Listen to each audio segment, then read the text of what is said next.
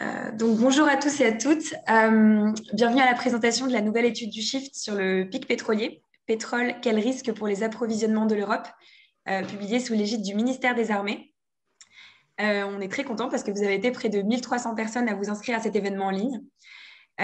pour information, on a mis en ligne plus tôt dans la journée la publication sous la forme d'une synthèse d'une trentaine de pages et d'un rapport complet. Euh, donc, vous pouvez la retrouver sur la page d'accueil du site euh, www.theshiftproject.org. Euh, par ailleurs, je précise que pour poser des questions aux intervenants, vous pouvez les écrire dans l'onglet Q et R au bas de votre écran. Voilà, donc vous pouvez le faire dès maintenant. on tentera de répondre à un maximum de questions pendant les, deux sessions de, questions-réponses. En fait, la première session de questions-réponses c'est après la présentation. La deuxième, c'est après la table ronde. Euh, on répondra aussi euh, aux questions à l'écrit euh, autant que faire se peut. Voilà, et donc avant de passer la parole à Mathieu Zano et, Noémie Rébière pour l'introduction, je vais vous présenter rapidement le programme des réjouissances de ce soir. Ben, en fait, vous l'avez sous les yeux, donc voilà, on va avoir une introduction, comme je l'ai dit, de, Mathieu Zano et Noémie Rébière, suivi de la présentation de rapport, suivi d'un premier temps de questions-réponses avec le public. Euh, et ensuite, une table ronde avec les intervenants que vous voyez affichés ici, puis une, session, une nouvelle session de questions-réponses, et enfin, euh, une conclusion de Mathieu Ozano. Voilà, Mathieu, je te passe la parole. Merci beaucoup, Ilana. Bon, je vais être très bref, euh, essentiellement pour, bah, d'une part, remercier le ministère des Armées, et en particulier Noémie, avec qui je vais céder la parole dans quelques instants, et puis, euh, remercier très chaleureusement tous ceux qui ont contribué bénévolement, euh, les autres aussi, mais en priorité bénévolement à ce travail.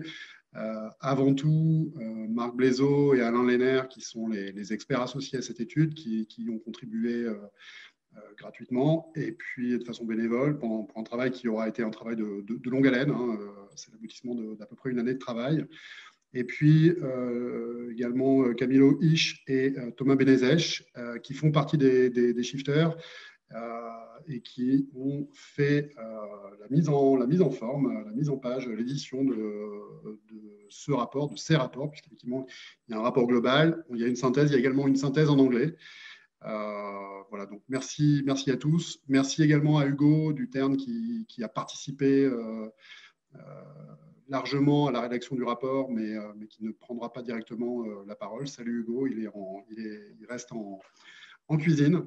Et euh, bah, sans plus attendre, je cède la parole à Noémie Revière pour dire un petit peu bah, qu'est-ce qui vous a intéressé dans ce travail. À toi la parole, Noémie. Oui, bonjour, est-ce que vous m'entendez? Oui, on t'entend très bien. Ah, super. Je que tu es dans, une, dans, un, dans, une gare, je crois, à Lyon. Voilà, tout à fait. Euh, je vais, je vais reprendre un train euh, dans quelques instants, donc euh, désolé s'il y a un peu de bruit derrière. Alors tout d'abord, bah, merci beaucoup Mathieu pour cette introduction. effectivement, je vais, je vais remettre très rapidement en fait en contexte cette commande qui a été faite donc par le ministère des Armées.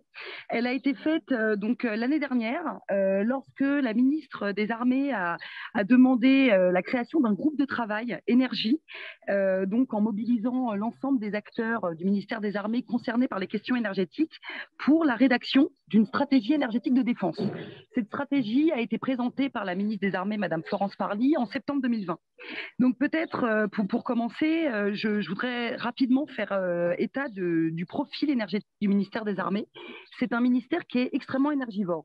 C'est le premier consommateur énergétique de l'État français, avec un mix énergétique qui est dominé par le pétrole. Le pétrole représente 75% du mix énergétique du ministère. Cela est dû, bien sûr, à ses activités opérationnelles et également à l'entraînement des forces. Euh, pour un petit peu euh, détailler ce mix, euh, la, plus grosse part concerne le domaine de l'aéronautique, donc des avions. C'est donc c'est le premier poste de consommation du ministère. Il représente environ 50% de sa consommation pétrolière. Ensuite, il y a le secteur naval qui représente environ 25% de la consommation et vient ensuite le domaine terrestre. Donc voilà pour le profil énergétique. Je pense que c'était important de le rappeler pour bien comprendre l'intérêt du ministère des Armées dans, dans les questions d'approvisionnement pétrolier actuel et également à long terme. Euh, ensuite, je voudrais revenir un petit peu sur le contexte dans lequel euh, a été en fait faite cette commande de, ce rapport. Il se trouve qu'en 2020, lorsque le groupe de travail avait lieu, la crise Covid a éclaté, entraînant une chute historique de la consommation mondiale de pétrole, ce qui a entraîné par la suite une chute massive des investissements dans le secteur énergétique et notamment pétrolier. Euh, donc, ça a bien sûr reposé la question de la pérennité euh, de nos approvisionnements pétroliers euh, actuels et également à long terme. À cela s'ajoute bien sûr l'aggravation et l'accélération des crises climatiques, mais aussi des crises euh, géopolitiques, euh, notamment sur, euh, qui mettent en tension les, routes d'approvisionnement majeures. Hein. On a l'exemple des tensions dans le détroit d'Ormuz, ou encore plus récemment le blocage du canal de Suez, qui a donc limité pendant, pendant un temps les approvisionnements et les, routes d'approvisionnement pétrolière vers l'Union européenne. Donc l'ensemble de ces éléments donc, mettent sous tension hein, nos, nos, modes de consommation actuels du ministère, mais, mais, pas que, de la société en général. Cela nous pousse euh, à accélérer le, processus de transition énergétique. Et c'est donc dans ce contexte que le ministère des Armées a souhaité disposer d'une étude qui analyse euh, de, manière critique euh, l'état des, des, ressources des pays auprès desquels la France et l'Union européenne s'approvisionnent, et, et, ce actuellement, mais pour les décennies à venir. Donc euh, voilà un petit peu pour ce contexte. Euh, donc euh, je, dois malheureusement vous quitter comme, comme je vous l'ai dit, mais je tenais à remercier très chaleureusement l'ensemble de l'équipe du Shift Project et Mathieu Ozano avec qui on a donc lancé cette étude pour le travail réalisé. Je, ne manquerai pas hein, d'écouter le podcast ou de, ou de regarder en, replay cette conférence et je voulais vous souhaiter donc une bonne conférence à tous et puis voilà, mais merci et bonne conférence grand merci à toi, Noémie. Et bon voyage. Merci. Au revoir. À très bientôt. À bientôt. Eh bien, il ne me reste plus qu'à passer la parole à Olivier, euh, pour, euh, qui est l'auteur principal de, ce, de, ce, travail, pour la, pour la présentation du rapport. Olivier, à toi. Oui, bonsoir. Est-ce que vous m'entendez clairement? On t'entend absolument clairement. Parfait. Très bien, écoutez, merci euh, infiniment pour cette euh, présentation, pour cette euh, donc, introduction. je suis donc, j'ai la lourde charge effectivement d'introduire donc les résultats de ce travail qui a été mené, alors non pas sur une année pleine, mais effectivement étendu sur une année complète. Et donc, euh, et donc le, travail euh, que l'on va vous présenter ce soir euh, a été effectivement s'est déroulé sur effectivement une année, donc avec la participation absolument essentielle donc des deux experts associés, Marc Blaiseau et Alain Léner, donc dont vous avez la, bio résumée à l'écran et également, ça a déjà été mentionné, mais je le rappelle, la participation très précieuse d'Hugo Duterne, qui a été notre, notre assistant de recherche, donc, dont, dont, le rôle a été également très important. Le mandat qui nous a été donné, donc, suite à la demande qui a été formulée par le ministère des Armées au Chief Project, et donc de développer une étude et de porter un diagnostic d'une complexité non négligeable, puisqu'il s'agit de formuler une conclusion aussi robuste que possible sur le risque que représentent les perspectives d'approvisionnement pétrolier à un horizon de temps donc, qu'il a été convenu de porter à un horizon suffisamment lointain, je dirais en cohérence avec l'horizon de temps temporel propre aux problématiques énergétiques, c'est-à-dire un horizon de temps assez long, de, donc nous avons porté à 2050. pourquoi cet horizon de temps? Eh bien, parce que euh, le, cycle de l'industrie pétrolière est un cycle euh, dont euh, l'unité temporelle est assez couramment la décennie. et le, diagnostic que nous portons est un diagnostic fondamental, un diagnostic tendanciel qui fait l'impasse sur, sur la dimension conjoncturelle aléatoire. je vous renvoie évidemment au bouquin de référence de, de Mathieu Ozano qui traite très abondamment euh, des aspects conjoncturels, aléatoires, qui ont fait toute l'histoire du pétrole. Pour notre part, nous, et pour répondre euh, à la commande telle qu'elle a été formulée par le ministère des Armées, nous nous en tenons à des éléments de diagnostic vraiment de fond qui sont de nature à exercer une influence sur les volumes au total d'approvisionnement de l'Union européenne et dans une certaine mesure de la France, évidemment, puisque notre commande provient quand même du ministère, d'un ministère français. Sur la diapo suivante, je vous présente finalement notre démarche et notre raisonnement euh, qui, a, euh, qui au final structure l'étude, donc euh, telle que vous pouvez la télécharger sur, sur le site internet de Shift Project. Donc, il nous a fallu d'abord dimensionner notre périmètre d'analyse et ce dimensionnement passait par une analyse simple mais détaillée de la structure de l'approvisionnement pétrolier de l'Union européenne à 27 pays 27 euh, pays, c'est important. Pourquoi? Parce que cela exclut le Royaume-Uni, donc euh, suite au départ euh, récent du Royaume-Uni des pays membres. donc, il a fallu procéder à une analyse assez détaillée de la structure d'approvisionnement pour délimiter et pour définir notre, je dirais, notre, notre périmètre d'analyse. Il a fallu faire certains choix méthodologiques que j'expliciterai dans les grandes lignes dans un deuxième temps. Et notre étude, ensuite, a euh, ce que nous considérons comme, euh, je dirais, euh, un gage de robustesse, c'est qu'elle segmente le diagnostic par, je dirais, les, trois grandes composantes du cycle d'exploration-production de l'industrie pétrolière, c'est-à-dire un diagnostic sur les profils de production, et donc qui porte en premier lieu et prioritairement sur les champs qui sont actuellement en production ou qui l'ont été dans le, dans le passé et par extension qu'ils seront dans le futur, mais euh, c'est une analyse, euh, je dirais, euh, qui, inclut un retour d'expérience très important, très précieux, en particulier de la part d'Alain Lenner. La deuxième composante qui couvre les réserves qui sont d'ores et déjà identifiées, qui ont d'ores et déjà été découvertes, mais qui ne sont pas développées à ce jour et qui pourraient l'être dans le futur à la faveur de certaines conditions qui seraient euh, respectées.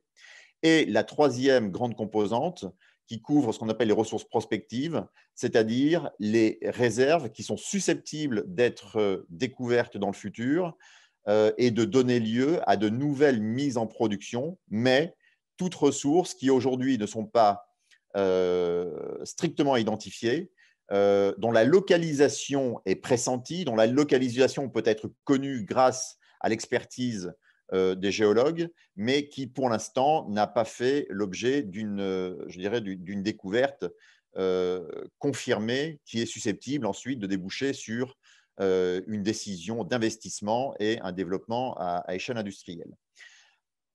À l'avant-dernier point, nous ferons un focus résumé euh, sur un point très particulier du marché pétrolier actuel euh, qui porte évidemment sur ce qu'on appelle le pétrole de schiste aux États-Unis, le light tight oil, euh, dans, une dénomination, je dirais, acceptée de façon générale par les, analystes pétroliers. le pétrole de schiste aux États-Unis pose certaines questions très spécifiques qui sont distinctes de tout ce que l'on va traiter dans les trois points précédents, aux parties 3, 4, 5. Euh, donc, pour un certain nombre de raisons, euh, le, pétrole de schiste ne relève pas d'une logique et de, technique, ni de technique euh, d'exploitation des ressources pétrolières conventionnelles, classiques, entre guillemets. Et il y a eu également, au cours des dix dernières années, des conditions tout à fait inédites de développement de cette industrie aux États-Unis qui sont en fait autant de points d'interrogation qui se posent sur le futur et euh, euh, c'est un pan de l'analyse qui est chaudement débattu, euh, sur lequel on ne peut pas raisonnablement prétendre, je dirais, synthétiser toute la variété des opinions qui peuvent s'exprimer sur ce sujet. Nous vous en présenterons finalement une version relativement consensuelle à travers une estimation haute et une estimation basse que nous discuterons un petit peu plus tard.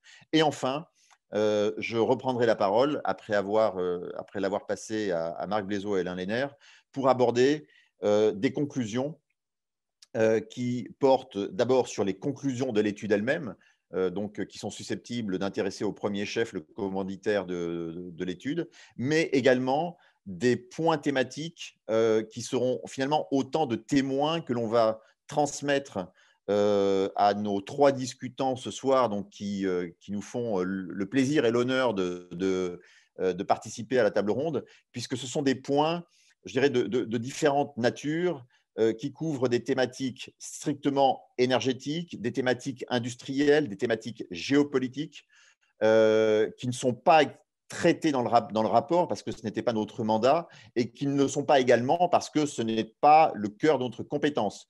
Et donc, évidemment, je dirais le, le, le meilleur, euh, le meilleur, je démarre ma vidéo, je dirais le meilleur usage qui pourrait être fait de ce, de ce rapport, eh bien, ce serait que des experts, des, des, gens euh, évidemment compétents dans les domaines d'extension euh, de cette étude s'en emparent et à leur tour en fassent une lecture critique et en tirent les conclusions qu'ils sont même, euh, à même d'en tirer et dans de meilleures conditions que nous. Sur la diapo suivante, pour vraiment introduire ce travail, nous avons une représentation de la structure de l'approvisionnement pétrolier donc de l'Union européenne 27, quasiment sur les 30 dernières années, distinguée très grosso modo entre trois composantes principales, les, importations euh, de pétrole brut, donc en provenance de l'extérieur de l'Union européenne, la production de pétrole brut euh, donc euh, assurée par les pays membres de, l'Union européenne 27, c'est la série qui est très minoritaire dans ce panorama. C'est la série bleue qui est en haut du graphique les importations de pétrole brut qui, sont, qui recouvrent la série jaune, qui est très dominante au milieu du graphique, et la série bleue, donc, euh, sur laquelle je vais revenir peu après. Il y a également, pour information, et sans trop rentrer dans le détail, la série rouge en bas du graphique, qui représente finalement ce que représente non pas la matière première en tant que telle, la matière première pétrolière, le pétrole brut, mais les produits raffinés c'est-à-dire les produits qui sont obtenus après raffinage de la matière première et qui peuvent être évidemment euh, une source d'approvisionnement, qui le sont d'ailleurs, euh, en particulier, euh, même si c'est moins connu, le gazole et puis l'essence, en tout cas, je dirais toute la, toute la, je dirais le panorama des, des produits raffinés, évidemment, intervient, mais de façon tout au moins au niveau du solde entre importation et exportation, de façon finalement très minoritaire dans ce euh, panorama de l'approvisionnement. Euh, ce qui nous a dicté, pardon, ce qui nous a orienté dans notre, euh, dans notre analyse, c'est le fait que eh bien, la composante très très dominante de l'approvisionnement pétrolier de, de l'UE27, ce sont donc d'une part les importations de pétrole brut mais c'est en particulier les importations de 16 pays, que je vais détailler par ailleurs, euh, qui, euh, au fil du temps, n'ont cessé de gagner euh, en importance. Si je me reporte au début des années 90, on voit que, très grosso modo, la série jaune représente environ, environ 60 à 65% du total de l'approvisionnement.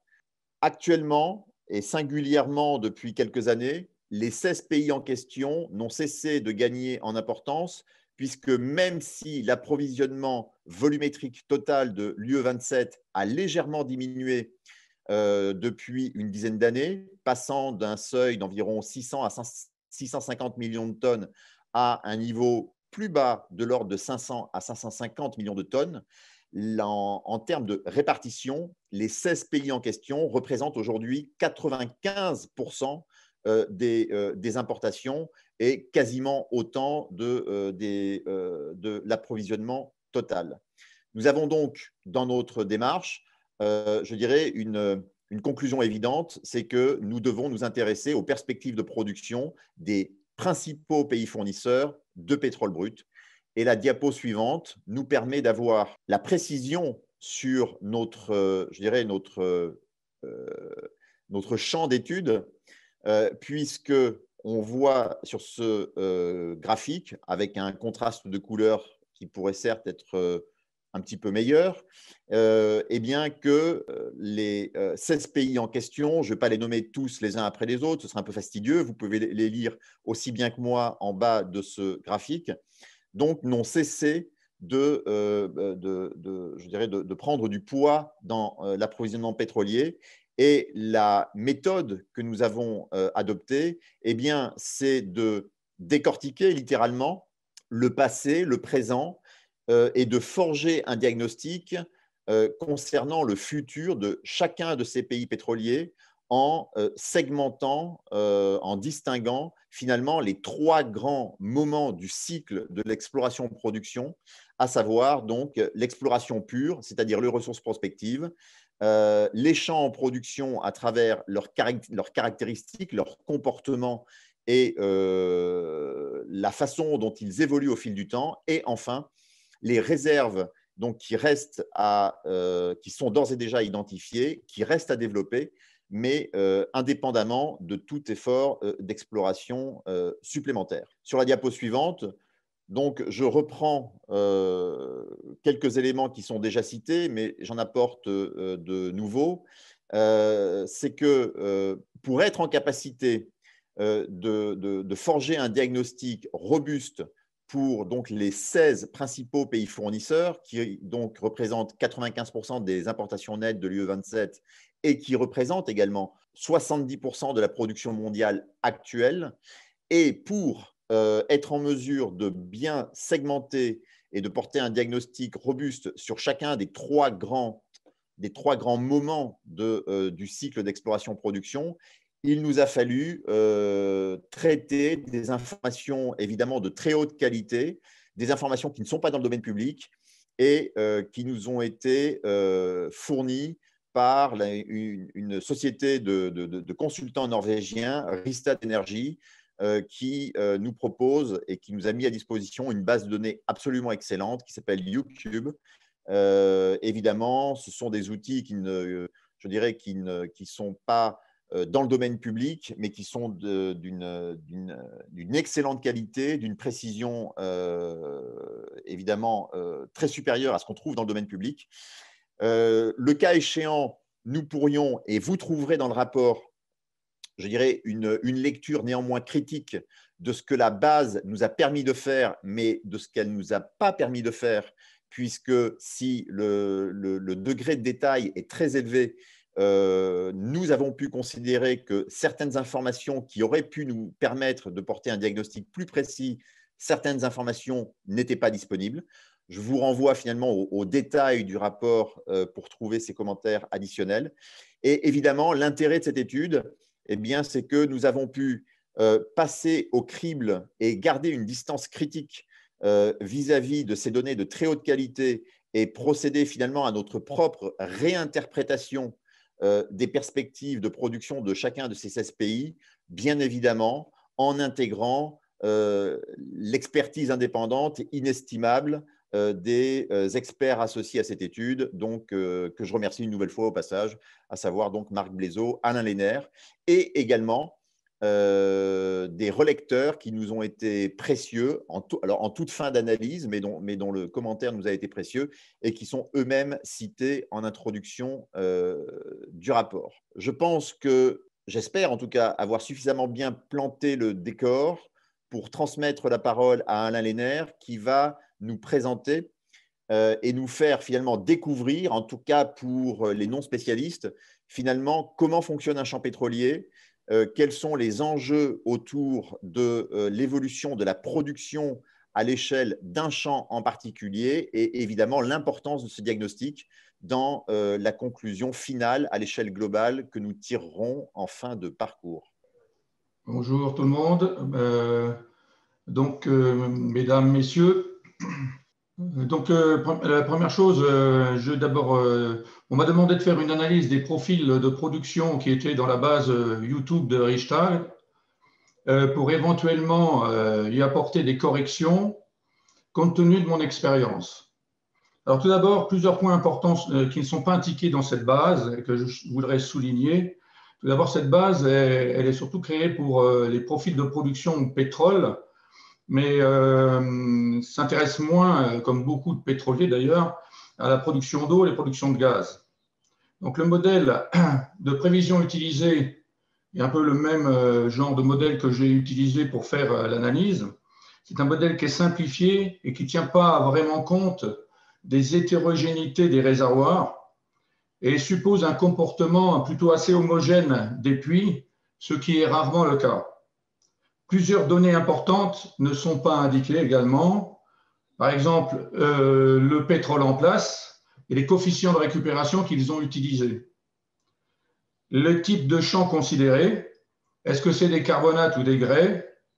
Euh, Cela, c'est assez important parce que pour, euh, par exemple, des types de réservoirs comme des carbonates ne réagissent pas de la même manière que des sables, par exemple et en particulier euh, dans les carbonates, les montées d'eau sont beaucoup plus rapides.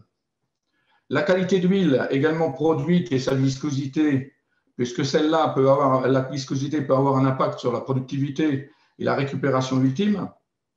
La production d'eau associée à la production d'huile et dans certains cas, la production de gaz associée n'est pas toujours indiquée euh, dans la base Richtad.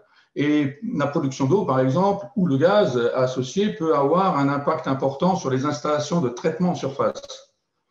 La quantité d'eau et de gaz injecté pour maintien de pression euh, qui peut avoir un impact sur la compression et donc les coûts euh, d'investissement euh, et les operating costs n'ont pas non plus été indiqués. Des commentaires, pour finir, toujours sur cette base, des commentaires sur la complexité euh, des, champs, euh, complexité technique, par exemple présence d'H2S qui rend les opérations compliquées euh, et sensibles, où on a par exemple beaucoup d'H2S de, au Moyen-Orient ou au Kazakhstan par exemple, où il faut réinjecter ce gaz dans les réservoirs et avec de la compression à haute pression et donc avec des compresseurs que, qui sont, euh, que l'on utilise et qui euh, peuvent poser des problèmes euh, à terme parce que c'est des techniques qui sont très nouvelles. Donc moi j'ai utilisé un modèle propriétaire qui était calé sur certains champs que je connaissais. Ensuite, j'ai utilisé directement les données de réserve et les, coûts euh, de, et l'évolution des coûts de puits en fonction du temps qui étaient indiqués dans la base YouTube de Richtad, ainsi que les dates de mise en production des principaux champs et des satellites. En complément des données fournies par Richtad, mon modèle donne par contre la production d'eau, de gaz et calcule le nombre d'injecteurs d'eau, de gaz nécessaires à la gestion correcte de ces champs. Et donc, ce modèle, mon modèle-là, a été utilisé pour analyser les 18 champs parmi ceux des 16 pays intéressants et je les ai comparés avec les prévisions de Richtad. Et enfin, euh, j'ai fait une, euh, euh, évaluation de l'impact de plus ou moins 20% des réserves initiales sur les profits de production. Merci pour la diapo suivante, s'il vous plaît. Alors là, vous avez un exemple de cas, par exemple, où euh, un champ offshore profond en Angola. Vous avez sur la gauche les, unités en baril jour et en fonction du temps. En bleu, vous avez le profil qui est sorti de la base de Richtad et euh, en vert, bien superposé, comme vous le voyez, euh, ce que donne mon modèle. Donc vous voyez que dans certains cas, on a une parfaite cohérence entre les, euh, entre mes deux modèles, entre les deux modèles. En pointillé en haut qui monte vers 130 000 barils jour, c'est la production liquide globale.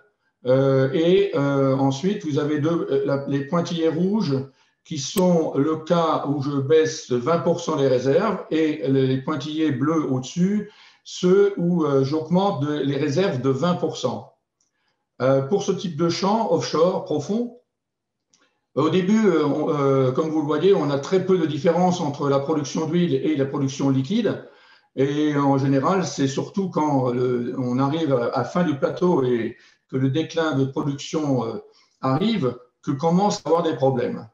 Pour ce type de champ également, vous avez, il est produit par, vous avez un bateau en surface qui s'appelle un FPSO qui traite cette huile et le pétrole, le gaz et l'eau produite, et donc qui a des capacités limitées. Vous voyez très bien que si par exemple, dans ce type de champ, on euh, il y a certains puits qui commencent à produire beaucoup d'eau et que la production liquide augmente, euh, on sera obligé de limiter cette production limite à 130 000 barils jour parce qu'on ne peut pas faire plus, et à ce moment-là, baisser la production globale du champ en pétrole. C'est pour ça que dans ce type de champ, mon expérience montre que je crois beaucoup plus à la courbe en pointillé rouge qui fait 20% de moins de réserve. On en parlera plus encore après. Là, j'ai un autre exemple maintenant, un champ en Irak, onshore. Et vous voyez toujours les mêmes choses. Donc, vous avez la, ligne, le, vert qui est ma simulation, le bleu qui est la simulation de Richthofen. Et euh, dans ma simulation, vous avez en haut un profil de production liquide qui va vers 140 000 barils jour. Et euh, vous avez ensuite les courbes pointillées toujours rouges et bleues qui sont avec 20% de réserve en plus et 20% de réserve en moins. Vous voyez que, par exemple, en année 2038, euh, suivant qu'on euh, a des réserves plus ou moins importantes estimées, vous voyez que le plateau de production pourrait être de 500 000 barils jour jusqu'à 800 000 barils jour. Et donc, il y a une incertitude assez importante lorsqu'on va mettre ce champ en production, suivant qu'on le gère d'une manière correcte, qu'on n'a pas trop d'hétérogénéité, qu'on arrive à gérer correctement le champ, on pourrait avoir un impact sur le profil de production qui pourrait être assez important euh, en, termes de production euh, initiale. Vous voyez aussi que quand on arrive vers les années 2050 à 2078, 2080, que le profil Richthofen est plus élevé que le mien, parce que en, mettant les investissements que, que a mis, je n'arrive pas à, leur profil de production parce que je, dois maintenir la production liquide à un niveau de 1 400 000 barils jour de liquide. Si j'augmente ce plateau de production liquide, à ce moment-là, je pourrais me rapprocher de ce profil de production de Richthofen, mais les investissements de traitement surface vont être beaucoup plus importants. Donc là, c'est un deuxième exemple, un troisième exemple, cette fois-ci euh, euh, qui est en Iran.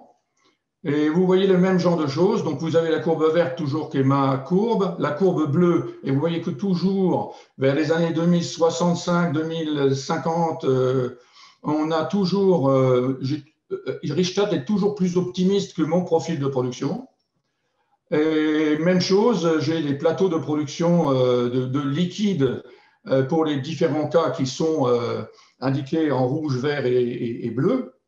Et vous voyez également que pour ce cas-là, en 2035, euh, bah, suivant que l'on a plus ou moins de réserves et qui vont dépendre effectivement du prix de baril également, vous allez voir une variation qui pourrait être en 2035 de plus ou moins 100 000 barils jour, de plus ou en moins sur ce champ, par exemple.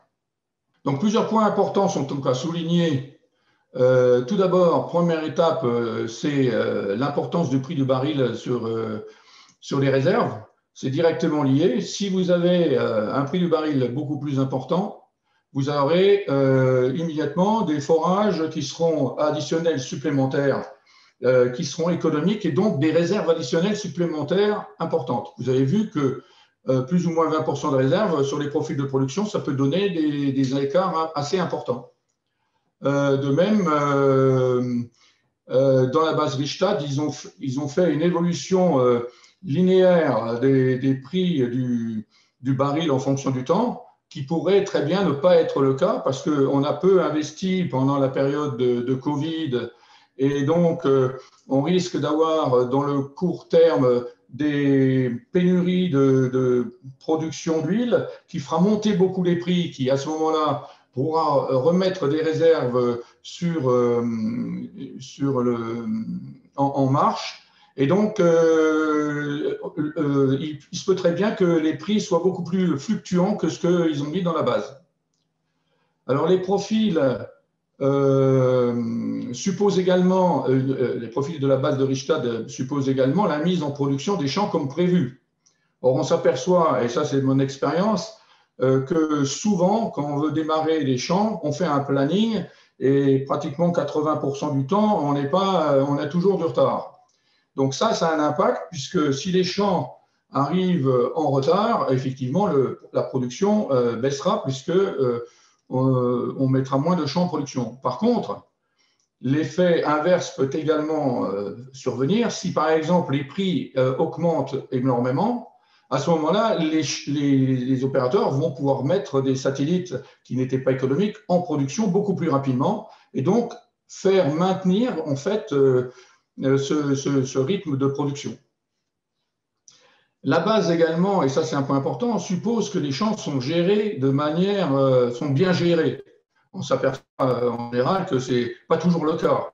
Parce que pour bien gérer un champ, il faut faire du monitoring, c'est-à-dire il faut euh, bien euh, faire des contrôles sur tous les puits, savoir la production de chaque puits, l'analyser pour savoir si c'est conforme au modèle géologique et au modèle réservoir que l'on a mis en place, et voir aussi s'il y a des percées trop brutales d'eau ou de gaz qu'il faut réduire à ce moment-là pour qu'on puisse euh, refaire des puits à d'autres endroits pour mieux contrôler et gérer le champ.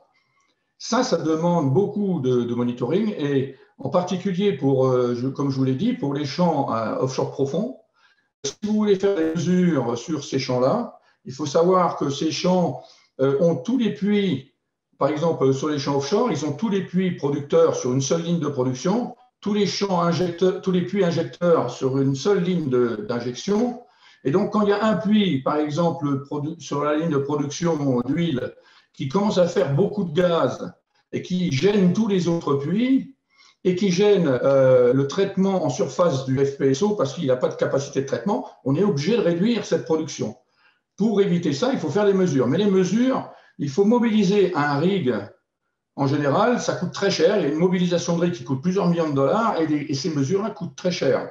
Et ensuite, une fois qu'on a vu quel puits a le problème, comme c'est des puits qui sont sous-marins en général à 500 mètres ou des 1200 mètres de profondeur, on vient avec des robots pour euh, travailler dessus. Et tout ça, c'est des coûts qui ne sont pas forcément inclus euh, quand on fait un modèle euh, simplifié. Donc, le coût élevé des mesures, euh, est un problème et donc euh, ça pose des problèmes pour les allocations de production, savoir d'où vient l'eau, le gaz et bien gérer le réservoir. D'où une surestimation certainement importante, euh, souvent, des réserves, en particulier pour les champs qui sont offshore, profonds. Et pour les champs à terre, c'est moins le cas parce qu'on est plus sur place, mais n'empêche qu'il faut quand même faire un monitoring parce qu'on a vu dans les carbonates que c'est très hétérogène et que donc de l'eau peut arriver ou du gaz peut arriver brutalement à un puits, à ce moment-là, il faut réagir sur le puits et éventuellement modifier le plan de développement. Les modèles de Richtad ne tiennent pas compte de ça, ils tiennent compte des déclins en fonction des réserves. Donc, c'est quand même comme si c'était assez homogène.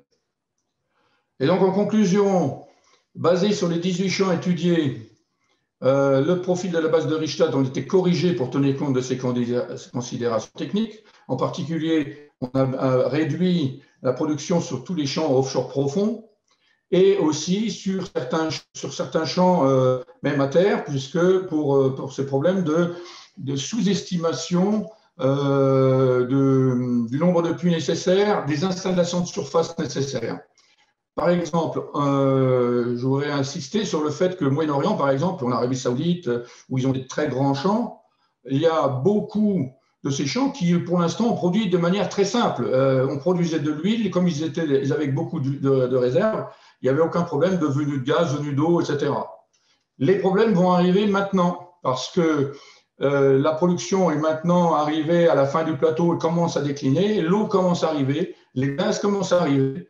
Donc, euh, quand on va vouloir réaugmenter ou maintenir la production de ces champs, ça ne va pas simplement être quelques petites installations, mais il va falloir des grosses installations de surface y compris de la compression importante qui coûte cher avec les operating costs euh, importants.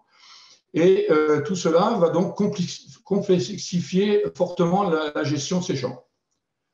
Et donc, l'autre point que, pour finir, que sur lequel je voudrais insister, c'est les problèmes qui ne sont pas forcément intégrés, comme les problèmes techniques quand ces champs produisent de l'H2S, qui est un gaz très dangereux, euh, ou quand on, met en production, par exemple, des, nouvelles techniques euh, qu'on appelle ici EOR, qui est Enhanced Oil Recovery, c'est-à-dire des techniques améliorées de, production, ces techniques, c'est bien sur le papier au laboratoire, mais quand on les met en place, on s'aperçoit que c'est très compliqué à mettre en place.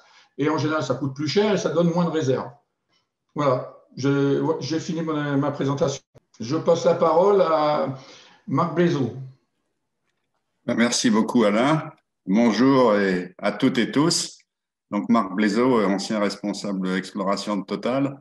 Et on va regarder donc les, parties suivantes de l'analyse en commençant par les champs euh, non développés. Alors, comme vous pouvez le voir sur ce premier graphique, euh, les champs non développés, ben, c'est un des, relais euh, principaux de la production pétrolière à l'horizon 2035-2040. Ils correspondent sur les 16 pays étudiés, que je ne vais pas détailler ici complètement, à environ 115 milliards de barils de ressources contingentes, donc, et qui pourraient permettre euh, de produire environ 3, euh, un peu plus de 3 milliards de barils par an à l'horizon 2040. Euh, c'est loin d'être négligeable, c'est 30%, comme on le verra plus tard, à cet horizon 2040 de la production totale attendue, analysée dans cette étude. Alors, nous avons particulièrement regardé les plus gros de ces champs, tous ceux qui dépassent en fait 1 milliard de barils de réserves probables unitaires, alors, si nous ne remettons pas en cause euh, la possibilité de les produire, et comme le fait Richtat, euh, sauf pour deux d'entre eux euh, dont je ne parlerai pas ici, nous signalons cependant que, ben, en raison finalement même de leur appellation, hein, champ non développé, ça veut bien dire qu'il y a des problèmes de caractéristiques géologiques, réservoirs ou fluides, qui n'ont pas permis jusqu'à présent de les développer. Or, un certain nombre de ces champs, même les plus gros d'entre eux, euh, ont été découverts dans les années 60, donc il y a, plus de 50 ans. Euh, et euh, on n'a pas réussi aujourd'hui à les mettre en production. Alors, soit des problèmes géologiques, comme je disais, soit des problèmes de gestion du gaz ou de l'eau, comme l'a très bien mentionné Alain Lénaire juste avant moi. Alors, ces problèmes ont toujours rendu finalement euh, leur économicité euh, délicate, sinon fragile. Et, beaucoup de compagnies ont essayé de les développer, hein. euh, pas seulement les compagnies des pays hôtes. Et pour le moment, il y a un certain nombre de, blocages techniques. Donc, c'est finalement le prix du baril qui sera aussi déterminant pour faire de ces ressources contingentes des réserves tangibles produites sur des puits on voit, euh, je voulais insister là-dessus, sur ce diagramme de trois pays finalement euh, se taillent la part du lion euh, quant à la production potentielle annoncée à l'horizon 2040. Et ces trois pays, ce sont l'Arabie saoudite, l'Irak et l'Iran, qui pourraient ajouter à eux trois bien plus de la moitié, 2 milliards de barils ou 2 milliards et demi, par rapport aux trois ou un peu plus qu'on voit au total. Euh, donc, euh, trois pays par rapport aux, douze autres pays du reste du monde. Donc, je crois qu'il faut avoir ça en tête. Euh, au-delà des productions actuelles, les productions des champs développés, c'est aussi une affaire moyen-orientale. c'est quelque chose qui va probablement renforcer la prédominance du Moyen-Orient et en particulier des trois grands producteurs de, ce, de, ce, de, cette région. La, la, rétro suivante, s'il vous plaît. Euh, je passe maintenant aux, ressources prospectives. Euh, qu'est-ce que c'est ce terme derrière? Bah, C'est les découvertes potentielles qu'on pourrait faire, qui ne sont pas encore faites euh, dans les pays étudiés. Alors, l'ensemble des pays étudiés, donc les 16 pays, on est toujours sur le même périmètre géographique et géologique, ça pourrait correspondre à 85 milliards de barils d'espérance à, peu près 35 milliards au, Moyen-Orient cette fois-ci et 50 milliards dans les autres pays.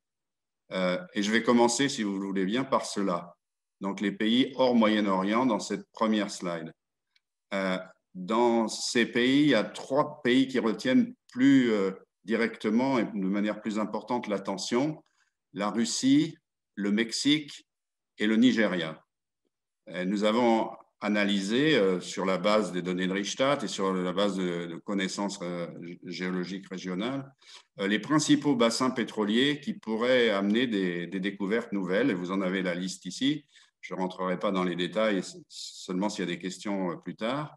Et si on regarde la Russie, on s'aperçoit qu'à peu près la moitié de ce qu'on peut attendre trouver en Russie, qui est autour de, 20 milliards de barils, la moitié provient des zones arctiques, en particulier de l'offshore, et puis la moitié provient de ce qu'on appelle le LTO, tout à l'heure dans le, vocabulaire qu'on a utilisé, donc les, shale oil ou les, ou les title, et principalement en Sibérie occidentale, dans l'horizon qu'on appelle le Bajenov et à peu près 10 milliards de barils et 10 milliards de barils dans le reste des autres bassins, principalement offshore. Euh, vient ensuite le, Mexique. Euh, alors, le Mexique, c'est un pays euh, assez nouveau pour l'exploration, même si c'est un pays qui produit depuis très très longtemps, mais une nouvelle exploration qui est une exploration deep offshore, qui vient de commencer, 4-5 ans, avec l'implication d'ailleurs, suite à la libéralisation des lois, des compagnies occidentales et, d'ailleurs chinoise aussi. Alors là, euh, on voit 12 euh, à 13 milliards de barils potentiels, donc quelque chose de très important. Et je voulais souligner que c'est une, exploration qui va être très technologique, avec une sismique complexe, puisqu'on est euh, très souvent sous des massifs salifères très importants, en particulier. Donc quelque chose qui est une technologie qui est, à peu près maîtrisée, au moins dans la partie américaine du golfe du Mexique, euh, mais qui, euh, qui recèle des, difficultés. On voit bien que le, taux de découverte est assez faible, même du côté américain, là où pourtant l'exploration n'a pas compté ses, ses, dollars. Enfin, le Nigeria, c'est un pays important. C'est un des rares pays africains où nous voyons encore des potentiels explorables importants, 7 à 8 milliards de barils risqués offshore et surtout deep offshore. Alors au Nigeria, la, grosse problématique euh, est moins géologique qu'administrative, euh, parce que depuis 10 euh, ou 20 ans, hein, largement deux décennies maintenant, on n'arrive pas, pas à mettre en, en, relation, je dirais, le domaine minier et les compagnies d'exploration. On n'a pas eu de rang d'exploration depuis une vingtaine d'années au Nigeria. Alors, est-ce que c'est euh, ces problèmes politiques ou administratifs seront levés assez rapidement, seront réglés. Euh, c'est une question qui est pas que je ne maîtrise pas, mais qui, fait qu'on bloque un peu sur ce pays aujourd'hui. Euh, pour finir avec cette slide, je voulais dire que le reste de l'Afrique, on l'avait déjà vu un peu à travers la première slide qu'on vous a présentée, que vous a présenté Olivier. c'est une décroissance significative des productions, mais c'est aussi une, une décroissance des potentiels explorables. Si j'exclus l'Afrique australe euh, éventuellement, qu'on n'a pas regardé ici, euh, on montre quand même qu'il y a une très faible espérance de découverte d'hydrocarbures liquides euh, dans le reste de l'Afrique. Je pense que c'est important aussi d'un point de vue géopolitique, on y reviendra. donc, je voulais avoir bien sûr un mot sur le Moyen-Orient parce que c'est très important pour la production. On a vu que c'était aussi majeur pour les champs déjà découverts et non développés.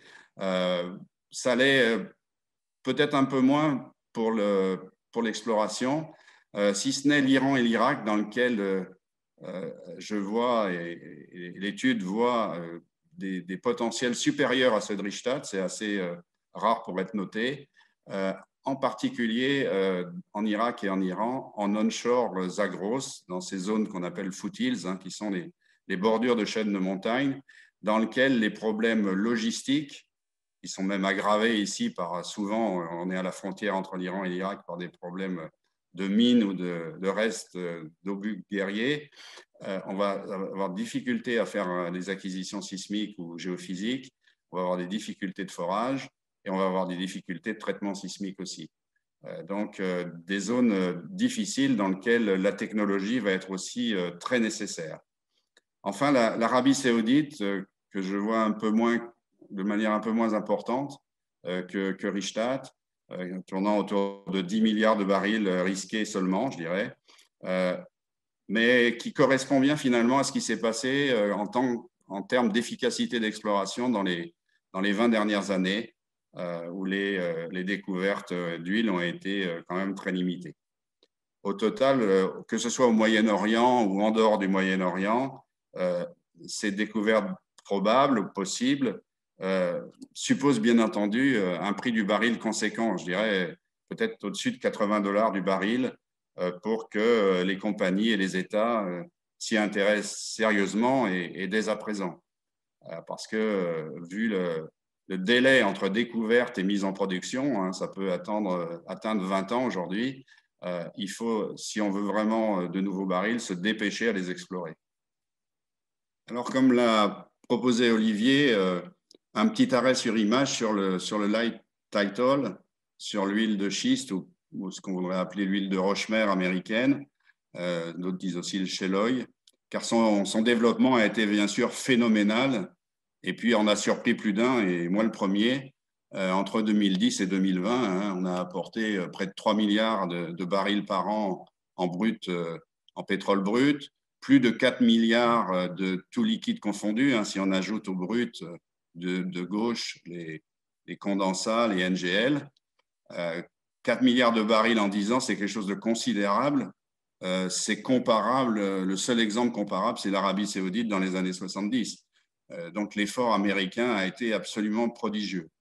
par ailleurs, cette augmentation des liquides non conventionnels, elle est aussi liée à ce qu'on a appelé le gaz de schiste, là encore du non conventionnel, puisqu'une grande partie des condensats et des NGL, ils viennent, ils viennent de ce gaz qui produit aussi des éléments euh, liquides légers. Euh, ça entraîne d'ailleurs des caractéristiques, on y reviendra peut-être euh, pour le raffinage américain, qui peuvent être des difficultés, puisqu'on va avoir affaire à des pétroles beaucoup plus légers et qui est difficilement accepté par les raffineries américaines. D'ailleurs, le nombre de light title veut bien dire que ce, caractère léger est très, très important pour eux. Alors, je voudrais aussi euh, m'approfondir un peu sur le mot tight. Euh, c'est l'autre caractéristique de ces huiles. Tight, c'est le réservoir cette fois-ci, plus l'huile. L'huile est légère, mais le réservoir est tight. C'est-à-dire qu'il est compact, il a une très faible porosité et une perméabilité encore plus faible. Et il est donc impossible de le, produire sans ce qu'on a appelé le, fracking. Hein. Euh, et c'est un peu ça qui, nous fait douter des, prévisions assez hautes, ou même très hautes de Richthofen. Hein. vous les avez ici en, en croisillon rosé. Euh, ils attendent 4 milliards de barils par an euh, à l'horizon 2035 et, en, pétrole brut et, plus de, 6 euh, en tout liquide, donc en ajoutant les NGL et les condensants venant principalement du, du tight gaz. Dans ces réservoirs tight, finalement, il s'agit de trouver une zone euh, où la roche est à la fois riche en hydrocarbures et fracable, c'est-à-dire une roche qui est plutôt tendre, hein, les, roches, euh, les roches mères de pétrole, c'est plutôt argileux, et euh, les roches fracables, c'est plutôt des roches rigides, dures, qui vont pouvoir casser pour faire des fracturations qui n'existaient pas à l'état naturel. Alors, c'est un peu la quadrature du cercle, cette affaire-là. Et c'est ce qu'appellent d'ailleurs, ce que j'appelle euh, bien justement les, géologues américains des sweet spots, euh, mais dont la plupart sont, à notre avis, euh, connus, reconnus et produits. Alors, une partie des, professionnels, et, et, va un petit peu dans ce sens-là, s'attendent à ce qu'on puisse refraquer les premiers puits qu'on avait produits dans les années 2010-2015 parce qu'effectivement, la densité de fracking à l'époque était assez faible. Donc, on peut peut-être penser que dans ces puits situés dans des sweet spots, on peut tenter une deuxième fracturation. On l'a déjà fait d'ailleurs, hein, euh, entre des fracturations déjà, déjà faites. Mais de là à ce que cette euh, augmentation de la densité des fracs euh, arrive à, produire autant que ce qui a été produit avant, ça me paraît quand même une, limite un peu physique à la question et on, peut penser, euh, il y a, d'autres professionnels qui le disent, qu'on va un peu cannibaliser euh, les zones euh, en, faisant ainsi. On, mange un peu par une nouvelle frac ce qu'on voulait produire et qu'on a déjà produit par la première. par ailleurs, au-delà de ces incertitudes géologiques, je, pense qu'il faut aussi parler des incertitudes économiques, parce que c'est aussi la politique monétaire de la Fed. Hein, euh, dans les dix dernières années, qui on pourrait l'appeler aussi non conventionnelle d'ailleurs, hein, euh, qui a permis de, drainer euh, des centaines de milliards de dollars dans cette industrie du shale oil. Est-ce que ça continuera? On verra ce que sera la politique de Joe Biden à ce sujet. Et on peut aussi avoir en tête les, les problèmes environnementaux qui commencent aussi à se poser aux États-Unis, hein, puisqu'il y a un certain nombre de comtés et même d'États qui refusent la, fracturation hydraulique. Donc voilà un petit peu ce qu'on voulait dire sur ce light title. On a donc des prévisions qui sont plutôt pour le pétrole brut autour de, 2 à 2,5, donc un plateau légèrement déclinant dans les années 2040. Et pour le, total des liquides, un peu le même profil, autour de 4 milliards de barils par an. Et donc, je repasse la parole à, Olivier pour les, pour les conclusions. Merci Marc. Effectivement, euh, donc nous arrivons au terme de cette euh, présentation.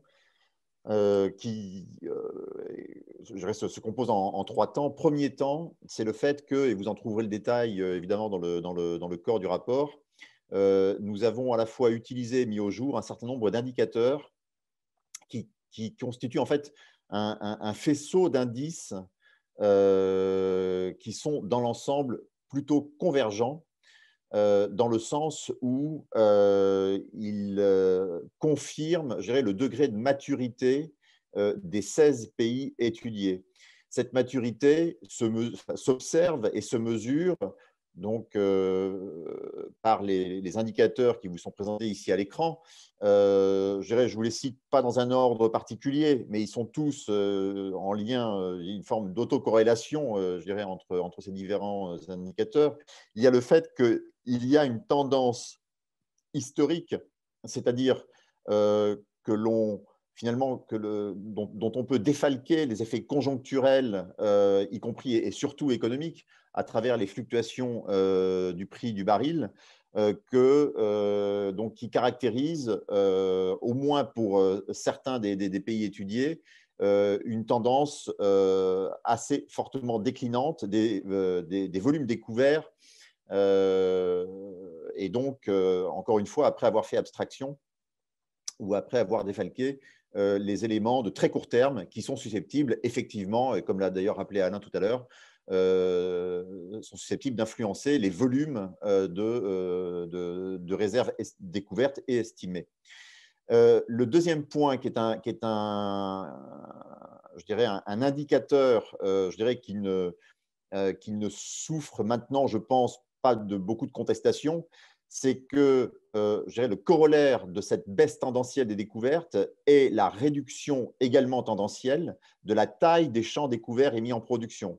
En d'autres termes, euh, nous savons, enfin, je dirais que les, bons connaisseurs de l'industrie pétrolière, évidemment, savent que euh, l'âge d'or des années 50-60, c'est-à-dire très grosso modo du milieu du XXe siècle, a été caractérisé par des découvertes considérables, majeures, les champs géants, voire super géants, eh bien, euh, dans les 16 pays étudiés, il y a un clair phénomène de réduction tendancielle de la taille des champs découverts.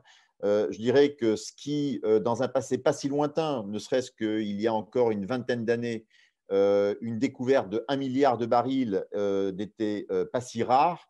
Aujourd'hui, les découvertes, évidemment, se situent plutôt dans un ordre je dirais, trois à quatre fois inférieur, euh, disons, entre, pour faire simple, disons, entre 100 et 300 millions de barils.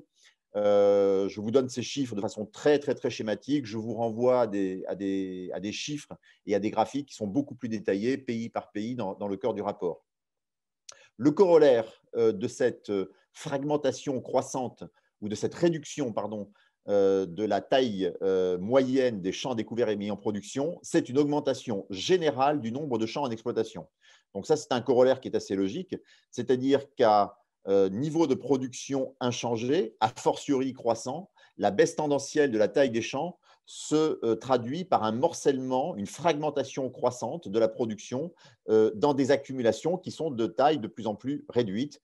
Et ça, je dirais que ce n'est pas un indicateur, je dirais, de, maturité en tant que telle, mais c'est un indicateur complémentaire finalement qui valide la robustesse de, notre analyse.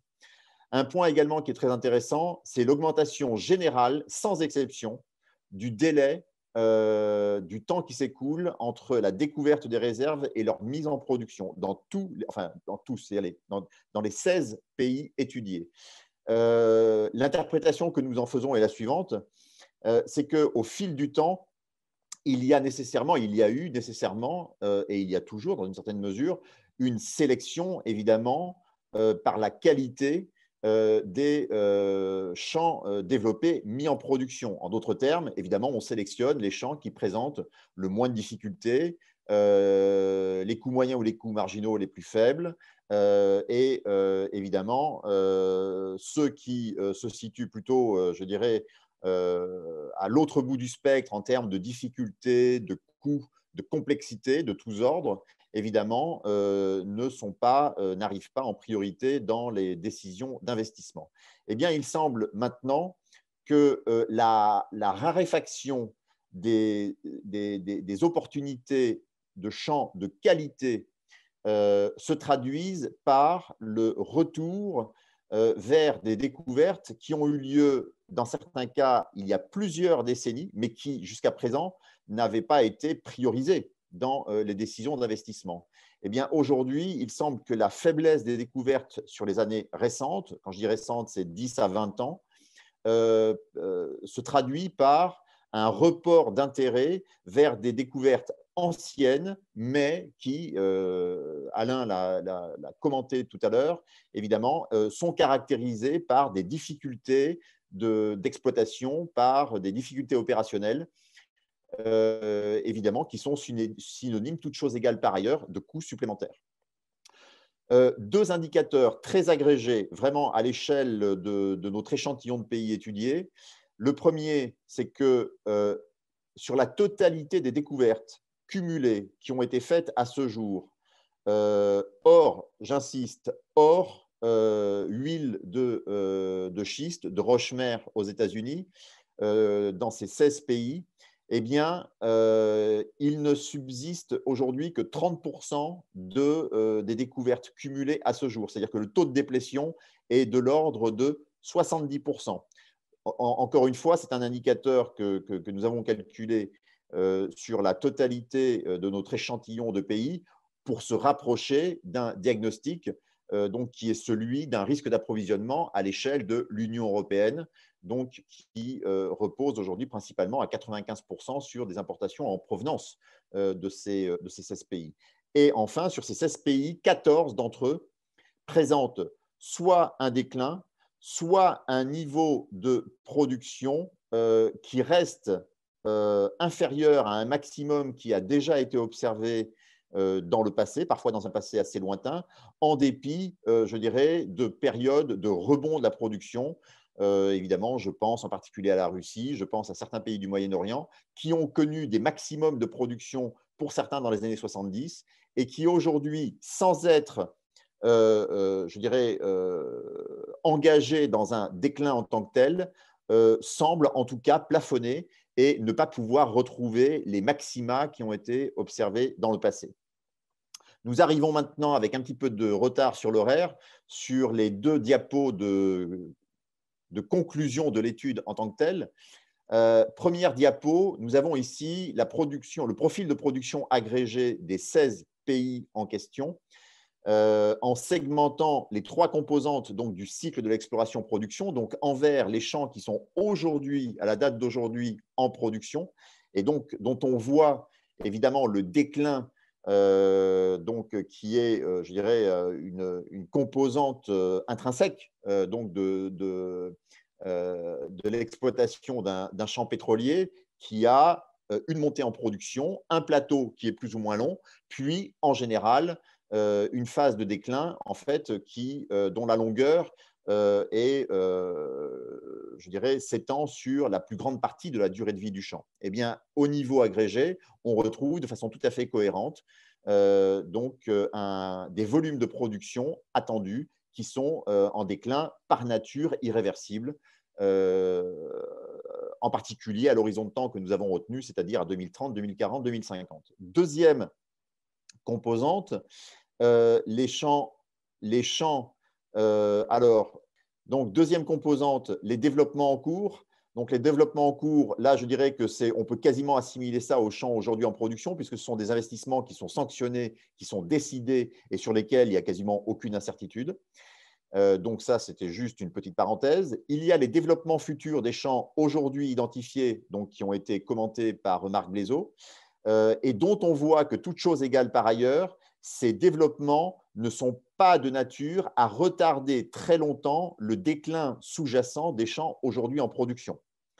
Troisième euh, composante, les développements futurs euh, des découvertes elles-mêmes futures, c'est-à-dire des ressources prospectives, en bleu sur le graphique, et dont on voit que ces découvertes futures ne semblent pas de nature à remettre en cause euh, ou disons à amortir durablement le déclin sous-jacent, donc non seulement des champs en production, mais également des perspectives de production euh, des, euh, donc des, DRO, c'est-à-dire des champs identifiés mais non encore développés. Et puis, bien, je dirais au sommet de cet empilement de, des différentes sources d'approvisionnement actuelles et futures, il y a donc cette question, ce gros point d'interrogation, à savoir le pétrole de schiste aux États-Unis euh, où nous situerons-nous entre l'hypothèse basse que nous retenons et l'hypothèse haute qui est retenue par notre partenaire dans l'étude, c'est-à-dire Ristad Energy. Euh, euh, nous proposons finalement une bande d'incertitude qui finalement reflète la synthèse des dires d'experts que nous avons pris en compte et synthétisés dans notre réflexion. Pour ma part, je ne ferai aucun pronostic sur où nous nous situerons entre ces deux limites. Peut-être nous situerons-nous en dessous de la limite basse, peut-être peut-être temporairement au moins légèrement au-dessus de la limite haute. vous trouverez dans le corps du rapport un argumentaire sur les incertitudes propres à ce pan des approvisionnements. Nous pouvons néanmoins, en tout cas, conclure que, quel que soit je dirais le profil bas ou haut que nous retenons pour euh, la production de shale oil aux États-Unis, nous avons en conclusion essentielle de notre étude, la première, c'est qu'au cours de la décennie 2020, la, la production agrégée euh, des 16 pays principaux fournisseurs euh, de l'UE 27 devrait s'établir légèrement en baisse au mieux par rapport à ce que nous avons connu euh, dans la situation pré-Covid, c'est-à-dire 2018-2019, nous serons peut-être, surtout en particulier si euh, la production de pétrole de schiste aux États-Unis ne euh, satisfait, disons, ne, se, matérialise pas de façon aussi optimiste que Richtad le, le, retient à ce jour, nous devrions voir un début de déclin, en fait, dès le début de la décennie 2020. Deuxième grand élément, évidemment, de conclusion, euh, qui normalement devrait euh, retenir l'attention, c'est que si nous avons, je dirais, une marge de manœuvre, semble-t-il, toujours assez confortable au cours de la décennie 2020, en dépit d'un plateau qui devrait être légèrement inférieur de 4 à 10% par rapport à ce que l'on a connu récemment, la décennie 2030, elle, dans presque tous les cas de figure, euh, envoie un signal de début de déclin de la production agrégée de ces 16 pays.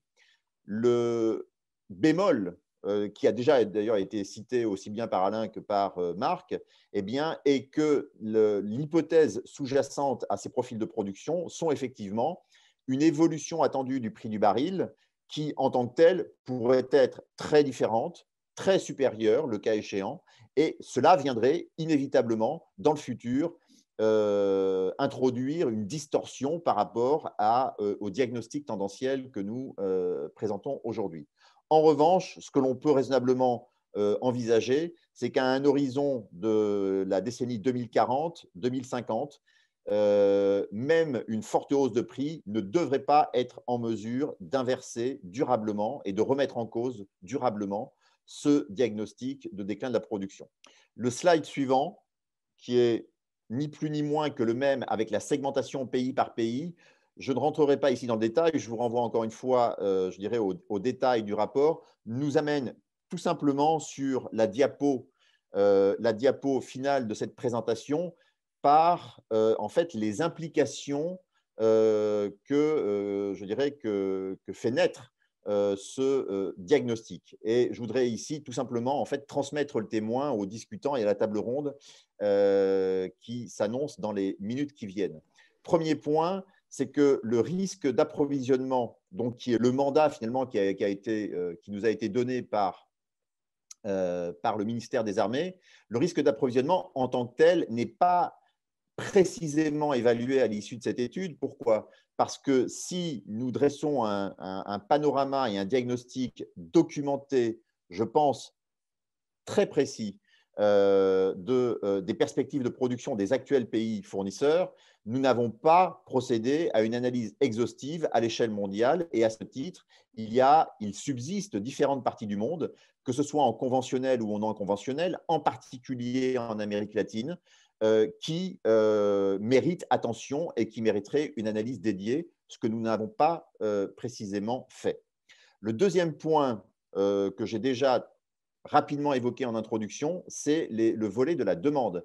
C'est-à-dire qu'un diagnostic de risque d'approvisionnement n'a de sens qu'à partir d'une certaine quantification des besoins. En d'autres termes, s'il y a tendanciellement une réduction des besoins qui euh, correspond à celle, euh, je dirais, à la tendance baissière des, approvisionnements, en tant que tel, le risque d'approvisionnement euh, ne peut être caractérisé par une échelle de risque supérieure.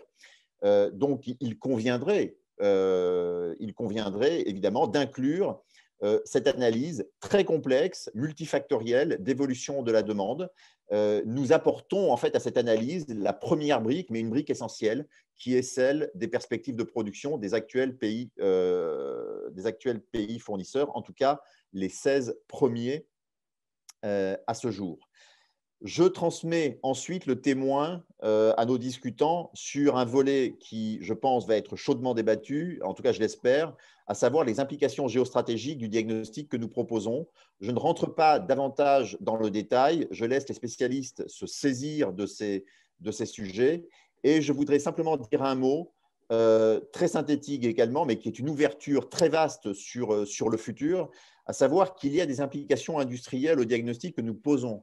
Et ces implications industrielles euh, portent aussi bien sur le secteur pétrogazier lui-même, c'est-à-dire les compagnies exploitantes, les compagnies productrices, mais également sur tout le secteur parapétrolier. Euh, les deux secteurs, les compagnies exploitantes et les sociétés de services parapétroliers, sont probablement amenés dans le futur, non pas à disparaître, comme on peut parfois l'entendre de façon, euh, comment dirais-je, extrêmement lapidaire, euh, mais tout simplement, ou non pas simplement, mais de façon assez probablement complexe, à muter et à accompagner un mouvement de fond euh, décennal, sur une échelle de temps décennale ou multidécennale.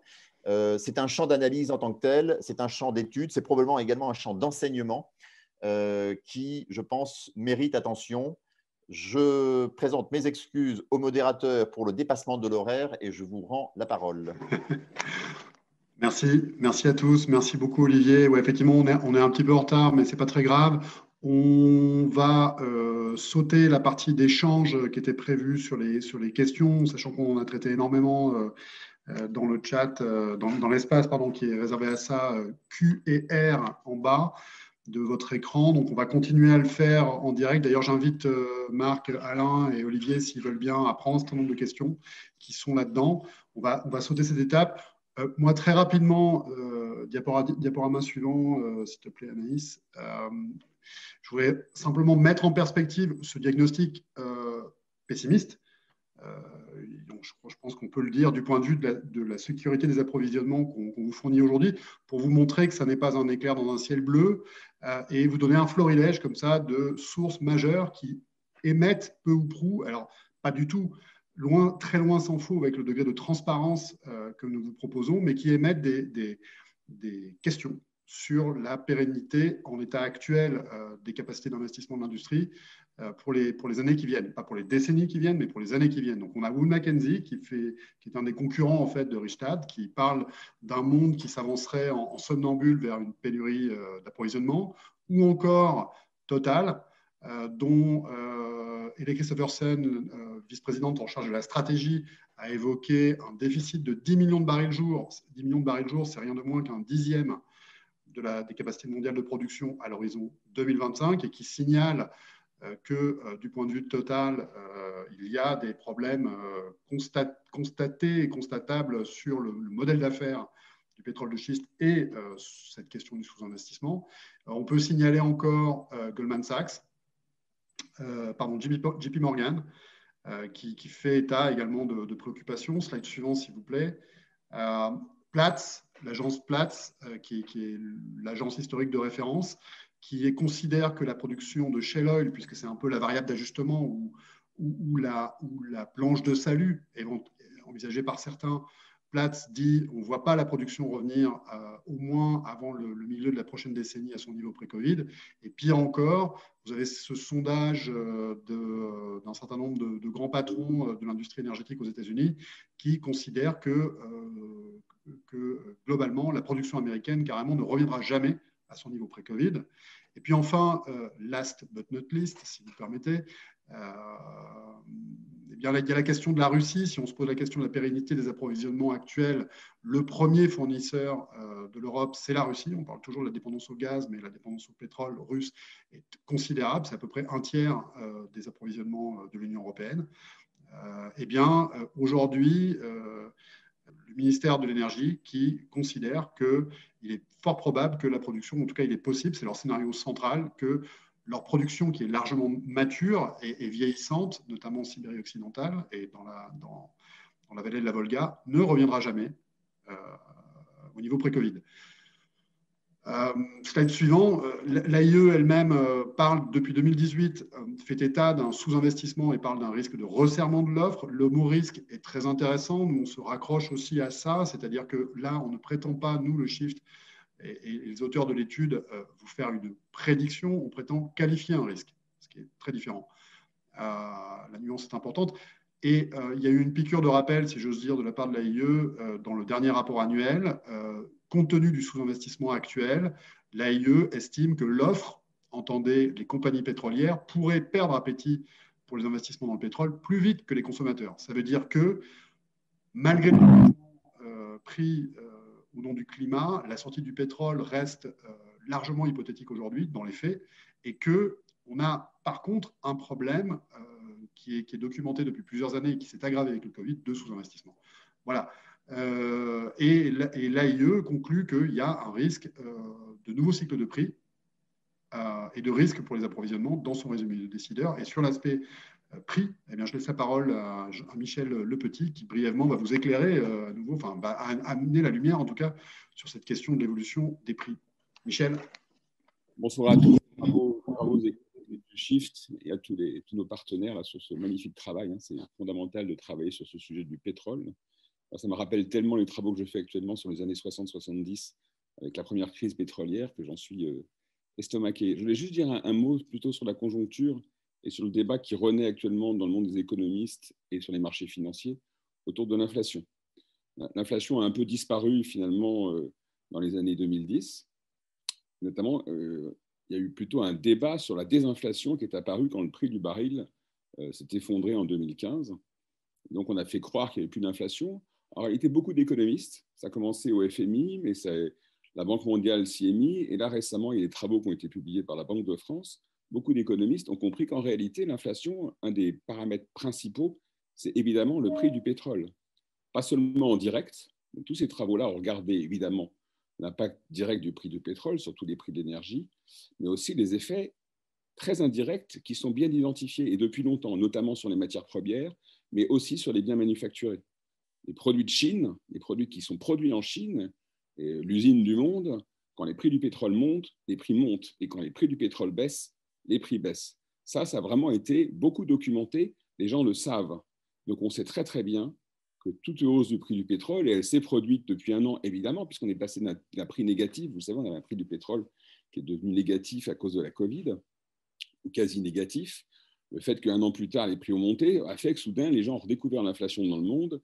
donc, on ne parle plus que d'inflation actuellement sur les marchés, avec la crainte que le plan Biden va amplifier cette inflation et qu'on partirait dans un monde d'inflation moi, je vous invite tous à réfléchir sur ce, sujet-là, hein, parce qu'en tout cas, de le regarder en regardant l'étude du shift, en se posant les questions comme le shift et en regardant le sujet du pétrole. En permanence, le débat, doit revenir sur le pétrole, le prix du pétrole. On peut regarder d'autres choses, on peut regarder super sur les matières premières, mais avant tout, les prix des matières premières dépendent des prix du pétrole. Donc, regardez, lisez, diffusez l'étude du shift, c'est ça la vérité. C'est ça le grand, thème de la macroéconomie des années qui viennent. Merci beaucoup, Michel. Euh, alors désolé pour la séance de questions-réponses qui était prévue à nouveau, hein, ça nous permet de, rattraper un peu le, retard et on va continuer à en traiter un maximum euh, en direct. Et on aura, on aura, euh, on aura une, une séance de questions-réponses à l'issue de la table ronde qu'on va démarrer du coup maintenant. Et puis à nouveau, effectivement, on va essayer, les auteurs de l'étude, j'espère, vont pouvoir s'employer à répondre aux questions euh, pendant, euh, euh, cette table ronde. Alors, j'ai le privilège d'accueillir Jacques Percebois, Francis Perrin et Philippe Sébille Lopez. Alors, Jacques Percebois, et ce n'est pas, j'espère que sa modestie n'en souffrira pas, je pense que c'est l'un des, si ce n'est l'économiste de l'énergie de, référence en, France depuis, depuis, depuis de nombreuses années. Donc, on est très, très content de pouvoir avoir son regard sur l'étude. Euh, Francis euh, Perrin, euh, bah, vous êtes directeur de recherche à l'IRIS et puis également spécialiste du marché pétrolier depuis, depuis de nombreuses années. Et enfin, Philippe, Philippe Sébille, tu, on se tutoie, hein, on donc je vais faire pareil. tu diriges Géopolia et tu, voilà, tu, as, tu fais du, un conseiller, éminent conseiller en matière de géopolitique, euh, en, particulier, en particulier spécialiste euh, des enjeux énergétiques. Et puis, c'est pas précisé là, mais, mais, mais, je vais le dire parce qu'on aime bien être transparent au shift. Tu fais partie, tout comme Olivier et Marc, on l'a pas signalé jusqu'à présent, tout comme moi-même et Jean-Marc Jancovici, le président du shift, d'une petite association, pas si petite que ça, qui s'appelle l'ASPO, l'association pour l'étude des pics pétroliers et gaziers. Et Hugo également en fait partie de ce, lieu de réflexion sur les enjeux du pic pétrolier. Alors, messieurs, euh, merci de participer à, cette, cette, table ronde. Merci également si vous voulez bien allumer votre euh, caméra. Ça sera plus, euh, ça plus vivant. Peut-être que je vais passer la parole dans un premier temps à, Jacques. Peut-être pas sur le contenu de l'étude lui-même, mais un peu sur ses implications. Qu'est-ce que ça suscite pour vous comme réflexion Je précise que dans l'étude, vous trouverez les réactions de Jacques, Francis et, Philippe, et puis un certain nombre de, commentaires d'experts qu'on a, qu'on a euh, ajoutés à l'étude. Oui, Jacques, euh, du point de vue de la question posée, c'est-à-dire des risques d'approvisionnement euh, européens, comment est-ce que tu, quelles leçons tu tires un petit peu des, conclusions, de, des conclusions de cette étude? Bien, ben, bonjour à tous et, merci. Du du oui, c'est pas grave. bonjour à tous et merci pour l'invitation. Alors, je dois dire j'ai lu l'étude avec énormément d'intérêt. C'est une étude extrêmement complète, très précise, d'une excellente qualité. Alors, en réaction comme ça, je dirais, première chose, on a dix ans devant nous où il faut se dépêcher parce que l'étude montre bien que après 2030, en tout cas euh, après 2035, euh, il peut y avoir de, gros risques d'approvisionnement parce qu'il y a un épuisement euh, inéluctable, à la fois au niveau de l'exploration et de la mise en production des, gisements actuels, de la part de nos, fournisseurs, notamment les 14 des, des 16 fournisseurs. Ça, ça me paraît important. La conséquence, c'est qu'il va y avoir bien sûr une augmentation du prix qui tient aussi au fait que ça a été mentionné, le coût d'accès au pétrole a tendance à augmenter. Alors, il faut savoir quelle sera l'action sur la demande, parce que quand on regarde en Europe, le gros secteur consommateur de pétrole, c'est le secteur euh, du, transport. Hein. On ne fait pas d'électricité avec le pétrole ou quasiment pas, donc c'est vraiment le secteur du transport.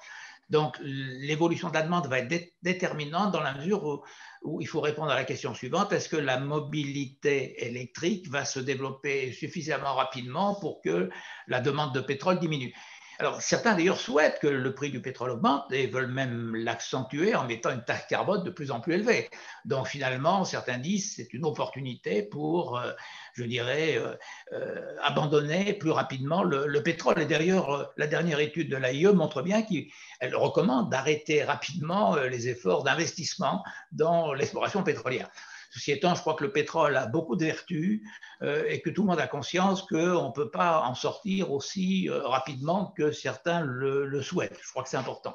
La deuxième observation qui me semble tout à fait intéressante dans l'étude, euh, c'est le cas des États-Unis, parce que dans l'esprit de beaucoup de gens, grâce au pétrole non conventionnel, on avait en quelque sorte trouvé une solution pour, pour le long terme Euh, et, l'étude insiste bien sur les incertitudes, à la fois concernant le, taux de récupération de ce pétrole non conventionnel, euh, le devenir des règles environnementales, euh, les coûts d'accès à ce pétrole, et puis surtout la rentabilité du pétrole non conventionnel. Dans l'étude, il est bien mentionné que finalement, et c'était rappelé un peu tout à l'heure, c'est grâce à l'endettement, il y a une bonne, la politique assez laxiste de la Fed que les compagnies qui font de l'exploration-production dans le pétrole non conventionnel ont tenu le coup.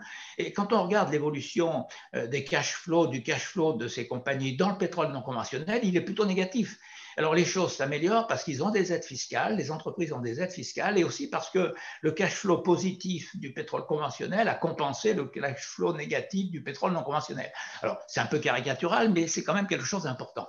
Et alors, si on ne peut pas trop compter sur les États-Unis, contrairement à ce que certains peuvent espérer, en disant que ben, grâce aux États-Unis, on va avoir un accès au, pétrole non conventionnel, au gaz non conventionnel, euh, on s'aperçoit quand même qu'à ce moment-là, euh, le Moyen-Orient, ça a été rappelé, va continuer à jouer un rôle important, et notamment deux pays au, Moyen-Orient, c'est d'ailleurs l'Irak et l'Iran. Alors là, la géopolitique va être déterminante, parce que ces pays-là, ils vont pouvoir choisir en quelque sorte leurs acheteurs euh, l'Iran, euh, on peut penser, comme il y aura une compétition croissante pour l'accès à ce pétrole, on peut penser que la Chine, euh, je dirais, de par ses capacités, aura un accès privilégié par rapport, par rapport à l'Europe. Donc je crois que c'est important de réintroduire à ce niveau-là la, la, géopolitique.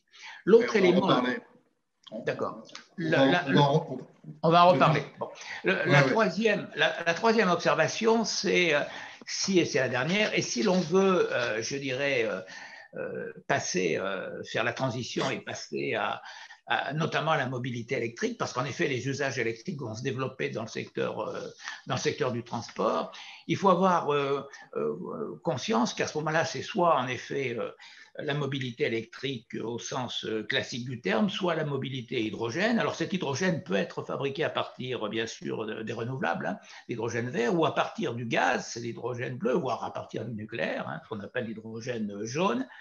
Mais alors à ce moment-là, il ne faut pas que la transition je dirais, aboutissent euh, à ce que la dépendance à l'égard du pétrole se transforme en dépendance à l'égard euh, de minerais. Parce qu'il euh, faut voir aussi que cette transition va nécessiter l'accès à, des métaux, à des métaux rares, à des terres rares.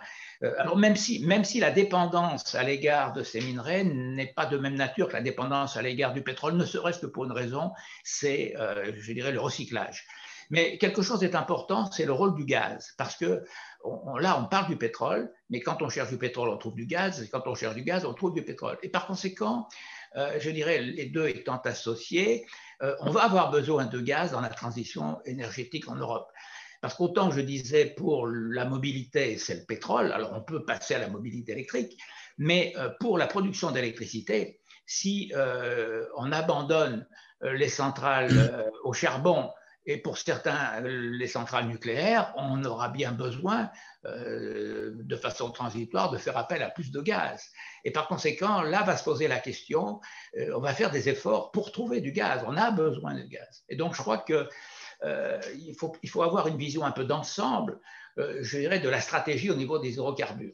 Alors c'est vrai que pour la production d'électricité, on peut faire appel à davantage de nucléaire. Mais je crois que euh, c'est la différence entre le secteur, le secteur de la production d'électricité et le secteur du transport, c'est que le pétrole, lui, il n'est pas indispensable dans la production d'électricité. Par contre, le gaz le sera, et les deux, je dirais, dans la, la recherche euh, d'exploration sont liés. Merci beaucoup, Jacques. Euh, je signale que le Shift espère pouvoir euh, développer un, travail sur les approvisionnements gaziers dans les mois euh, qui viennent. Francis Perrin, vous, avez également, merci d'ailleurs, j'en profite pour le, vous le dire directement, merci d'avoir commenté nos travaux. Vous avez une perspective qui est, plus, qui est plus nuancée sur nos résultats. Sur un certain nombre de, perspectives qu'on a sur, le, sur les, approvisionnements. Est-ce que vous pouvez, euh, à grands traits, s'il vous plaît, les, présenter? Donc, bonsoir euh, à tous. Merci beaucoup euh, à Mathieu Ozano et au Shift Project pour plusieurs raisons. D'abord, pour avoir fait réaliser cette étude, qui est une étude importante. Et j'aime bien les euphémismes. Donc, quand je dis importante, ça veut dire que c'est vraiment important. deuxième remerciement pour avoir organisé cette rencontre ce soir. Et manifestement, on voit qu'elle intéresse. Les chiffres sont assez clairs, les chiffres de ceux qui sont avec nous ce soir. troisième merci pour avoir sollicité quelques personnes, euh, dont euh, moi-même, euh, et Jacques Percebois et Philippe Sébi-Lopez, pour les inviter à vous faire part de leurs commentaires, y compris critiques, si besoin était, par écrit, avec le rapport, et ce soir par oral. Donc, c'est pour ces trois démarches, je voulais vous dire merci beaucoup. Euh, c'est donc une étude que je trouve extrêmement intéressante extrêmement importante parce qu'elle porte sur un sujet qui est un sujet majeur, les approvisionnements pétroliers futurs de l'Union européenne. C'est quand même pas un petit sujet, chacun en est conscient. Et c'est un sujet très important et qui n'est pas forcément euh, souvent traité, en tout cas, euh, à mon avis, très peu traité sous l'angle d'attaque, si je puis employer ce mot, qui, a été, qui a été le vôtre. Et j'aime bien dans ce rapport euh, la combinaison d'un aperçu global euh, et puis 16 monographies euh, correspondant donc à une étude de ces 16 pays producteurs exportateurs de pétrole qui sont sur plusieurs années les principaux fournisseurs de, l'Union européenne. alors, il y a effectivement dans certains cas, dans mes commentaires écrits et oraux, euh, euh, des, réserves sur différents points, euh, réserves qui, je dois le préciser, ne sont pas à la hauteur de l'opinion générale que je viens d'exprimer, qui est très fortement positive sur l'intérêt, l'utilité, la nécessité de ce type de travail. D'abord, comme cela a été rappelé par Olivier Reich et ses collègues, euh, l'étude se base euh, fortement sur la base YouCube, la base de données YouCube de Richtad Energy. Je connais Richtad Energy de réputation, euh, ils sont fort bons. comme on l'a rappelé, on ne sait pas une base de données publique, je n'ai donc pas accès à YouTube et comme une grande partie du travail du Shift n'est bien sûr pas un copier-coller de YouTube, puisque comme ça a été évoqué, euh, bien sûr, vous avez retravaillé, réexaminé l'ensemble de ces données, le modèle, etc. Mais c'est quand même une base importante de, de, votre étude. Et ne connaissant pas, n'ayant pas connaissance de cette base de données, il y a évidemment des éléments qui me manquent euh, pour apprécier certains aspects de cette, de cette étude. Euh, un autre élément, mais ça Olivier Reich l'a dit très clairement, puisque il a lui-même dans, dans sa présentation expliqué, euh, et vous-même également Mathieu Ozano, quelles étaient certaines des limitations de l'étude. Et vous avez eu l'honnêteté intellectuelle de le dire, de l'écrire sur l'une des diapos, euh, en rappelant à juste titre que dans une étude, on ne peut pas tout faire et qu'on répond à une commande et, qu'on doit donc évidemment répondre aux besoins de l'entité, en l'occurrence le ministère des Armées, euh, qui a commandé cette étude. Euh, vous dites donc très clairement par écrit et par oral que la question du potentiel d'approvisionnement pétrolier auprès de nouveaux ou futurs pays producteurs n'a pas été traitée. Et encore une fois, ce n'est pas un reproche, on ne peut pas tout traiter dans un rapport, c'est déjà pas mal d'avoir fait ce travail-là. Évidemment, ça peut conduire à être prudent sur certaines des conclusions de l'étude. Le fait que ce point n'ait pas pu être traité, et ça peut évidemment appeler euh, d'autres développements, d'autres études euh, ultérieures euh, pour le Shift Project, et évidemment pour d'autres personnes et entités considérées. Une autre réserve que je ferais, c'est que on a parfois l'impression à travers le rapport que les auteurs considèrent que quasiment systématiquement, les réserves sont surestimées, les coûts sont sous-estimés. Et je suis tout à fait d'accord pour dire que cela arrive, que les réserves soient surestimées et que les coûts soient sous-estimés, coûts d'investissement, coûts d'exploitation. Est-ce que c'est aussi systématique que ce qui ressort du rapport, ou quasiment systématique En tout cas, c'est un élément de réflexion. Euh, dans les études payées, là encore cela a été dit par euh, Olivier Reich dans sa présentation, euh, c'est vrai qu'on ne parle pas beaucoup de l'OPEP, l'Organisation des pays exportateurs de pétrole, auquel plusieurs de ces pays appartiennent, l'OPEP, l'OPEP plus entre guillemets, donc l'OPEP 13 pays, producteurs exportateurs, OPEP plus 23 pays, euh, et, même si ces pays n'appartiennent pas toujours à cette organisation, l'OPEP, et à ce rassemblement, l'OPEP, puisque l'OPEP n'est pas une organisation au sens formel du terme, euh, évidemment, la politique menée par l'OPEP et l'OPEP, a un impact important euh, sur tous les acteurs pétroliers, y compris bien sûr des acteurs étatiques et des pays. Et puis sur les, les projections de production à l'horizon 2050, alors là, évidemment, euh, ça demande un courage héroïque hein, de, prévoir de, prévoir ou de projeter euh, la, production de pétrole de 16 pays euh, à l'horizon 2050. Alors là encore, je suis bien conscient que voilà, vous répondez à une commande et qu'on vous demande aussi de mettre des chiffres, de vous engager, de vous jeter à l'eau. Ce n'est pas, pas un travail simple. Je suis personnellement très réservé sur parfois la pertinence de, chiffres de production à l'horizon 2050. Euh, c'est extrêmement, extrêmement délicat. Euh, et, donc, euh, voilà, c'est, pour moi, c'est un élément important qu'il faut garder, qu'il faut garder à l'esprit. D'ailleurs, je, remarque que pour les États-Unis, et vous avez très bien expliqué pourquoi, la complexité, la spécificité de cette question de, du pétrole non conventionnel, pétrole de schiste et pétrole extrait de réservoirs compacts, donc euh, qu'on va appeler ensemble donc euh, LTO, Light Tight Oil, euh, pétrole non conventionnel. pour les États-Unis, parce que c'est très particulier, très complexe, vous avez deux trajectoires. Et je me demande si pour d'autres pays également, même si ce n'est pas du pétrole non conventionnel, pour d'autres pays également, plutôt que de donner un chiffre à l'horizon 2050, en disant qu'en 2050, nous pensons que le pays ne produira pas plus que 200 000 barils par jour ou 400 000 barils par jour, euh, il n'aurait pas été euh, plus, entre guillemets, sage, si vous me passez l'expression, d'avoir parfois deux ou trois scénarios, deux ou trois euh, trajectoires, compte tenu de la complexité de, ce sujet et de l'ampleur des incertitudes. Euh, j'ai par ailleurs un certain nombre de remarques sur certaines monographies pays, mais je ne veux pas prendre trop longtemps la parole.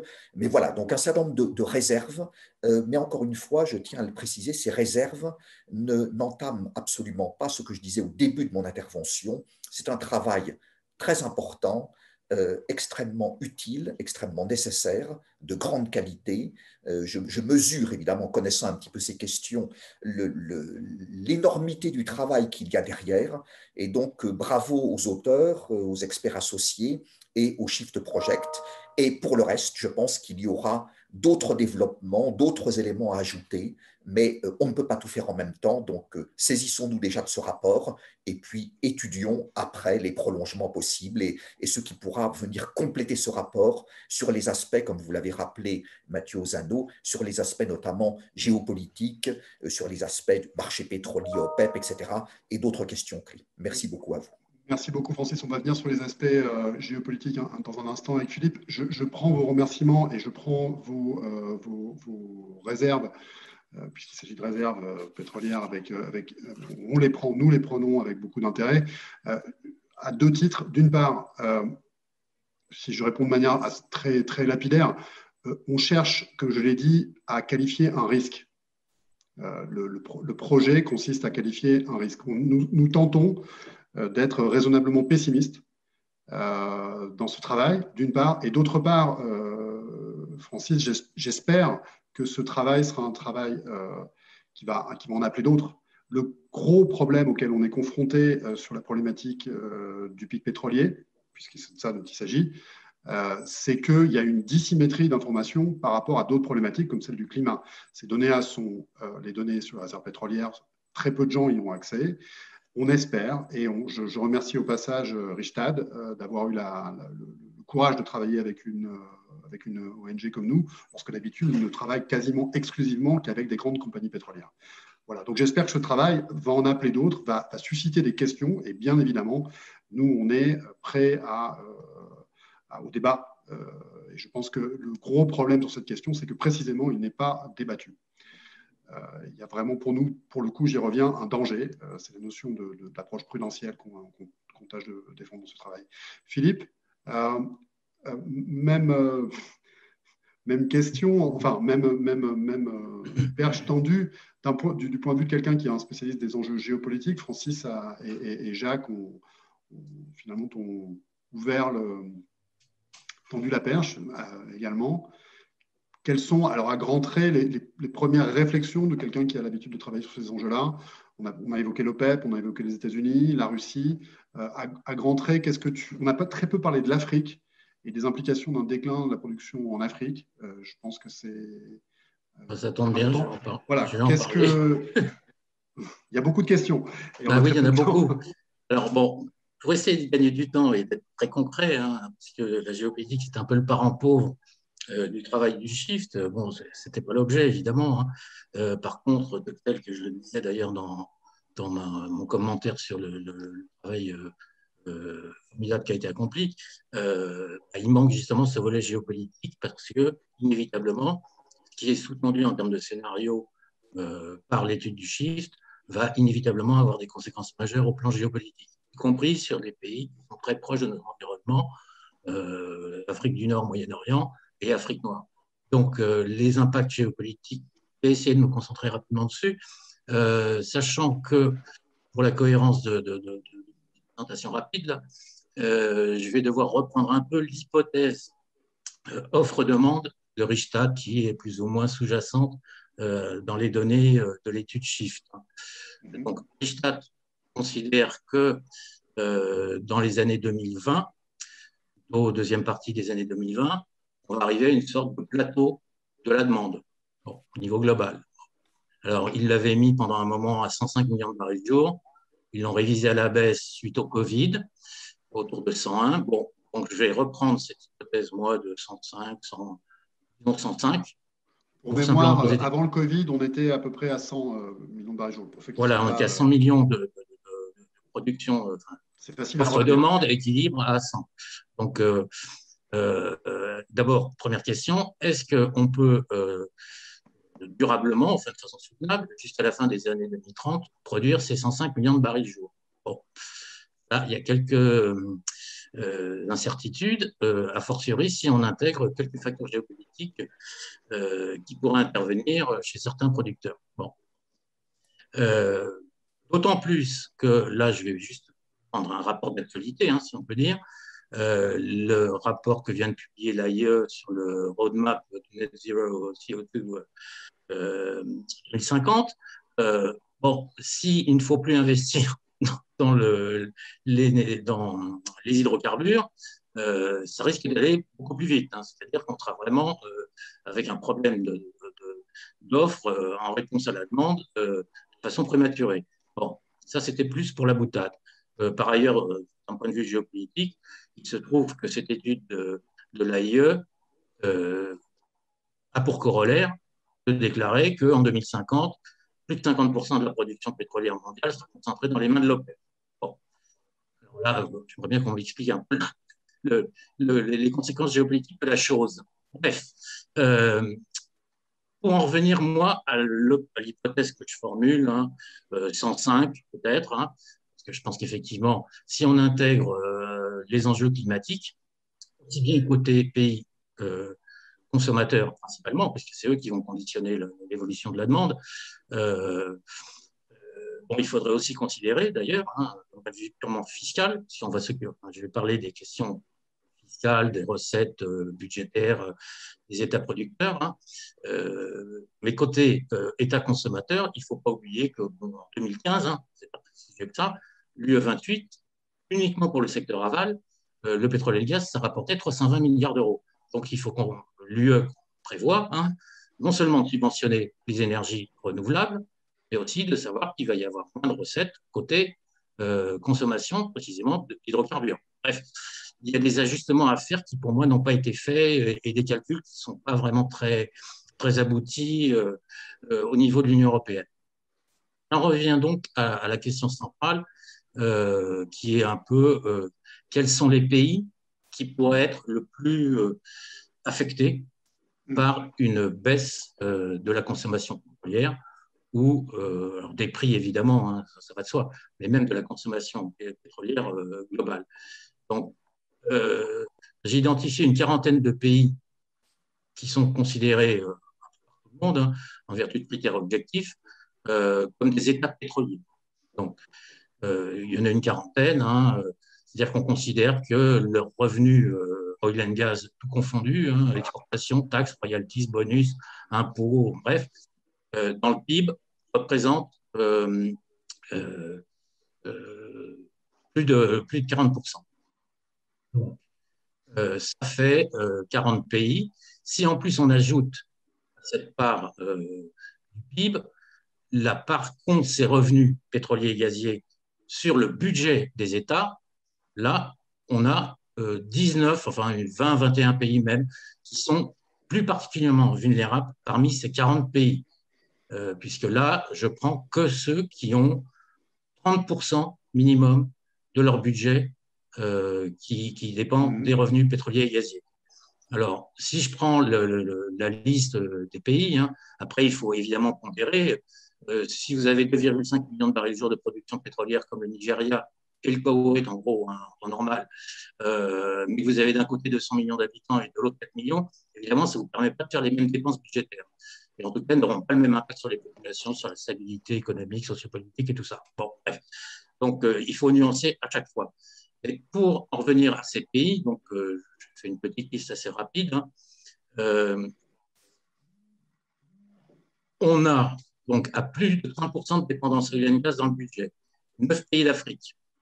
La Libye, 72%, Algérie, 39%, Guinée équatoriale. Ça, c'est sur une moyenne 2015-2018. Donc, euh, c'est une moyenne annuelle sur 2015-2018. Donc, ce n'est pas euh, euh, ponctuel, c'est plutôt durable et donc fondamental. Libye 72, Algérie 39, Guinée équatoriale 81%, Sud-Soudan 78, Angola 56, Congo, Brazzaville 54%, Nigeria 45%, Gabon 35, Tchad 30. Donc 9 pays d'Afrique. Il faut dire, Philippe, au, lecteur d'études, puisqu'on n'a pas pointer cet élément que globalement, euh, on, estime, et d'ailleurs on n'est pas les seuls, que euh, l'Afrique, dans sa globalité, euh, et en particulier ses, producteurs les plus majeurs, sont partis pour un déclin tendanciel de leur production. Donc, l'Algérie, le Nigeria, l'Angola, etc. Et il pourrait avoir donc un double choc. Gabon. Et il pourrait y avoir un double choc. Non seulement ils vont avoir une production en baisse, et en plus, si les revenus et la demande baisse, on va dire, hein, ils risquent d'être carrément écartés du marché par les gros producteurs, qui eux vont avoir plus de répondants et pourraient négocier euh, plus ou moins de gré à gré. Bon, c'est déjà un peu ce qui se passe euh, entre certains producteurs de pétrole et certains, certains gros raffineurs en Asie. Bon, donc euh, il y a des logiques nouvelles qui pourraient apparaître hein, en termes de, rapport entre pays consommateurs et pays producteurs, qui ne sont pas celles qu'on a connu jusqu'à présent avec une espèce de marché euh, où euh, globalement il faut une offre qui réponde à la demande et puis c'est le, prix entre guillemets du dernier baril ajouté, euh, donc le prix incrémental du dernier baril qui conditionne les cours. On pourrait rentrer dans des logiques tout à fait différentes. Donc je continue juste sur ma liste de, pays. En Asie, il y en a quatre. Donc, bon, là, j'ai vu que dans l'Azerbaïdjan, c'est plutôt c'est même le Caucase, mais bon, 64%. Euh, Timor-Leste, pauvre Timor, 52%. Le sultanat de Brunei, 43%. le Kazakhstan, 32%. Et au Moyen-Orient, évidemment, là, on a 8 pays, alors non des moindres, évidemment, euh, en termes de dépendance. Euh, Irak, 89%. Oman, 76%. Bahreïn, 72%. On peut imaginer que Bahreïn, si il y avait quelques difficultés financières, l'Arabie saoudite viendrait au secours de Bahreïn pour éviter que la population majoritairement chiite ne descende dans la rue. Ils l'ont déjà fait sans apporter de concours financier, mais euh, par un concours militaire hein, il y a quelques années, au moment des printemps arabes. Bref, euh, il y a différents scénarios possibles, hein. du plus sympa au moins sympa. Arabie Saoudite, 69%, Koweït, 52%, euh, Émirats Arabes Unis, 52%, Iran, 32 34%, et Qatar, 32% à titre de, référence, donc la Russie, elle, n'est qu'à 23%. Donc là, on a vu tous les gros acteurs. Évidemment, les États-Unis ne sont pas dans ce, dans ce lot, hein, même si c'est un pays producteur évidemment très important de pétrole et de gaz, puisqu'ils ont une économie tellement diversifiée que le ratio par rapport au PIB n'est pas atteint, vu, le reste. Hein. Bon, donc, idem pour. enfin, il y aurait d'autres pays qui ne sont pas intégrés. Là, je prends vraiment ceux qui sont vraiment au carburant dépendants. Hein. Mais du coup, quelle, conclusion tu en tires de, ce niveau de dépendance d'un grand nombre de pays à la bah, alors, Déjà, par rapport aux, aux, 16 pays qui approvisionnent l'Europe, on s'aperçoit qu'on a Irak, Arabie Saoudite, Kazakhstan, Nigeria, Libye, Azerbaïdjan, Iran, Algérie, Angola, Koweït, qui sont dans la dans l'œil du enfin pas dans l'œil du cyclone parce que là on est tranquille, mais qui, risquent d'être sur le parcours du cyclone. Mm. Euh, bref, euh, ma conclusion, euh, si tant est qu'on puisse faire une conclusion à ce niveau de, précision, hein, je dois bien dire, même si c'est des faits précis. Hein, ma conclusion, une baisse de la rente en gros, c'est quel impact sociopolitique? Alors, le défi, bon, euh, seront d'autant plus grands pour les régimes, selon moi, autocratiques en place, euh, dès lors qu'ils pourraient voir la fin du pacte social. Euh, en gros, je schématise, je caricature même, votre générosité contre votre obéissance, s'ils ne parviennent pas à temps à une diversification de leur économie. et là, le problème de la diversification de leur économie, qui est un vieux c'est un peu l'arlésienne hein, pour les pays producteurs. Euh, quand les cours du pétrole sont bas, on parle de diversification, et dès que ça remonte, on n'en parle plus. Donc, on va voir MBZ a pris des engagements, sa vision 2030, bon, bref. Il y en a certains qui pourront peut-être, hein, euh, enfin tout le monde ne peut pas faire du tourisme, hein, euh, ou des parcs de loisirs, ou, ou euh, se lancer dans les services. Bon, certains pourront, d'autres moins. Bon. Sur ce point de la diversification, peut-être, on va peut-être s'y attarder, parce que finalement, puisqu'on est en plus au cœur du sujet, au cœur de la question posée par le ministère des Armées, Francis Perrin, vous, comment est-ce que vous voyez, alors effectivement, euh, Philippe a raison, les, cas sont très contrastés, mais se projeter sur un déclin potentiel, euh, voire euh, plus que potentiel, disons, de pays comme l'Algérie ou le Nigeria, qu'est-ce que ça vous... Peut-être même, on voit qu'il y a des débats sur le partage de la manne pétrolière entre achat de la paix sociale et investissement en Russie aujourd'hui. Quelle réflexion à grands traits ça suscite pour vous, Francis?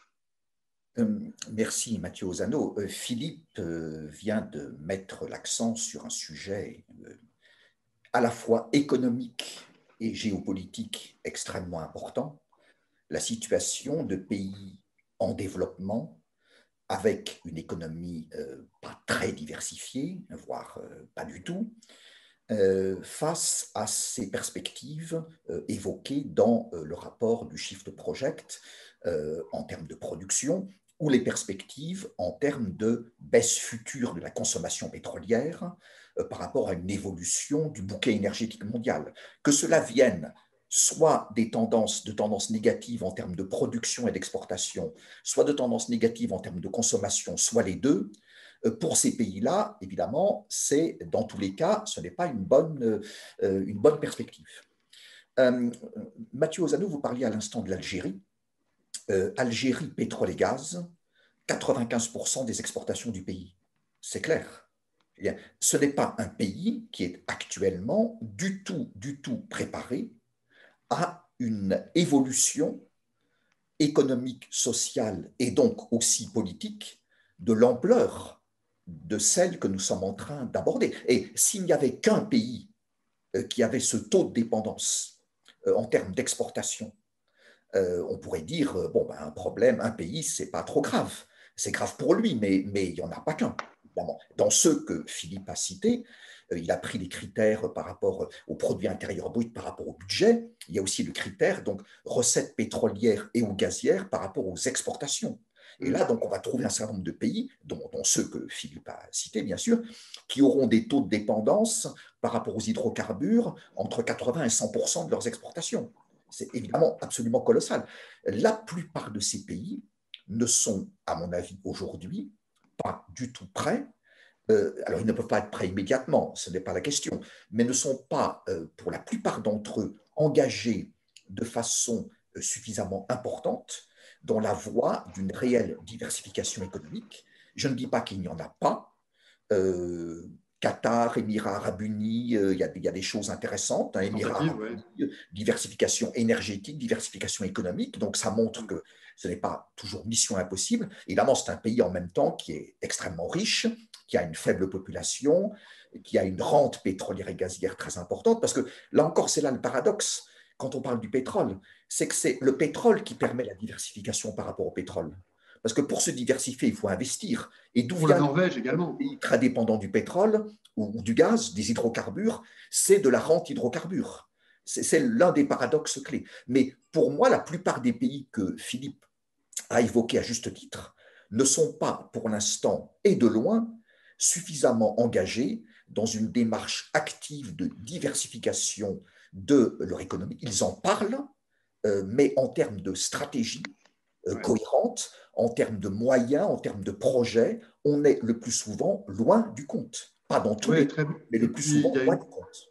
Oui, et puis il y a, pardon, il y a, puis il y, a, il y a une loi de Murphy un peu dans cette histoire, surtout quand on. Alors évidemment, le cas est complexe, mais on a l'exemple du, Venezuela, euh, où il y a quand même eu un déclin de la production conventionnelle qui a précédé euh, une incapacité finalement du, régime euh, Chavez à, continuer à financer la, paix sociale.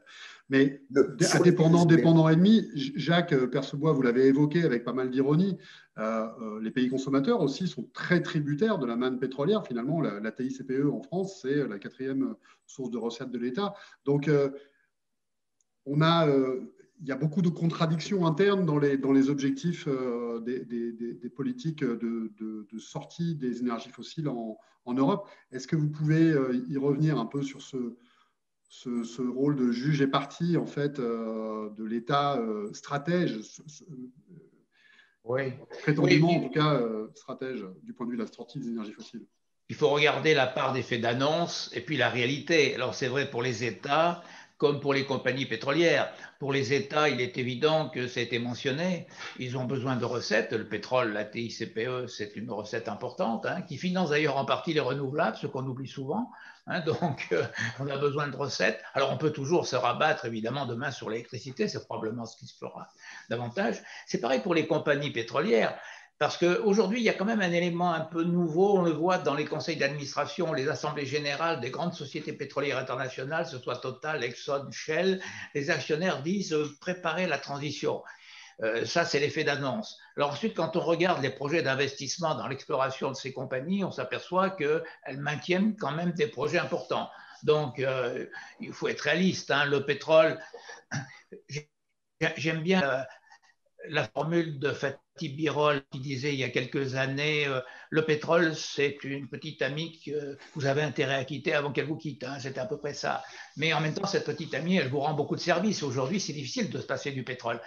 Alors, il y a des domaines où on peut trouver des substituts. Il est évident que si vous raisonnez sur les armées, aujourd'hui, se passer du pétrole pour, le ministère des Armées, euh, c'est pas très facile parce que les engins, ils fonctionnent largement avec des produits pétroliers. Ceci étant, il ne faut pas sous-estimer l'impact de l'augmentation des prix sur l'innovation. Et donc, euh, euh, je vois par exemple, il peut y avoir des, innovations dans les biocarburants. Euh, Shell, je ne sais plus si c'est, non, je crois que c'est Exxon qui envisage de faire du pétrole à partir du plastique recyclé. Je veux dire, il peut y avoir de l'innovation, mais il est évident aussi que si les prix se mettent à On sait que ce n'est pas sur des niveaux de production comparables. Oui, bien, évidemment. Oui, mais les, les petits ruisseaux font les grandes rivières. Hein. donc, d'une certaine façon, c'est en jouant un peu sur tout. Mais, mais je ne dis pas que de, demain euh, le, pétrole produit à partir du plastique. La question, je dis simplement qu'il y a des substituts, et notamment, euh, je crois faut pas sous-estimer le rôle du gaz. Hein. je crois que c'est important, notamment le rôle du gaz. Euh, je, vais, je vais inviter, alors, on a, sur un exercice comme ça, c'est un peu une gageure, on n'a on a que la possibilité de lancer des pistes. Je vous invite à aller regarder le rapport et puis à aller consulter les, travaux de Philippe, Jacques et, Francis. je voudrais inviter Olivier, Marc et, Alain à se joindre virtuellement à nouveau à nous, c'est-à-dire à rallumer leur caméra, puisqu'on va, on va passer sur une séance. Et restez avec nous, hein, Jacques, Francis, oui. Philippe. Voilà, je vais laisser la parole à Hugo. Euh, donc, Hugo Duterne, qui a été euh, un peu euh, en soute, si j'ose dire, sur, sur cet équipage.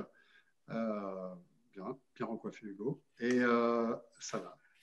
Et donc, Hugo a, glané un certain nombre de questions un peu emblématiques parmi les très nombreuses questions qui nous ont été posées. On a essayé d'en traiter un maximum.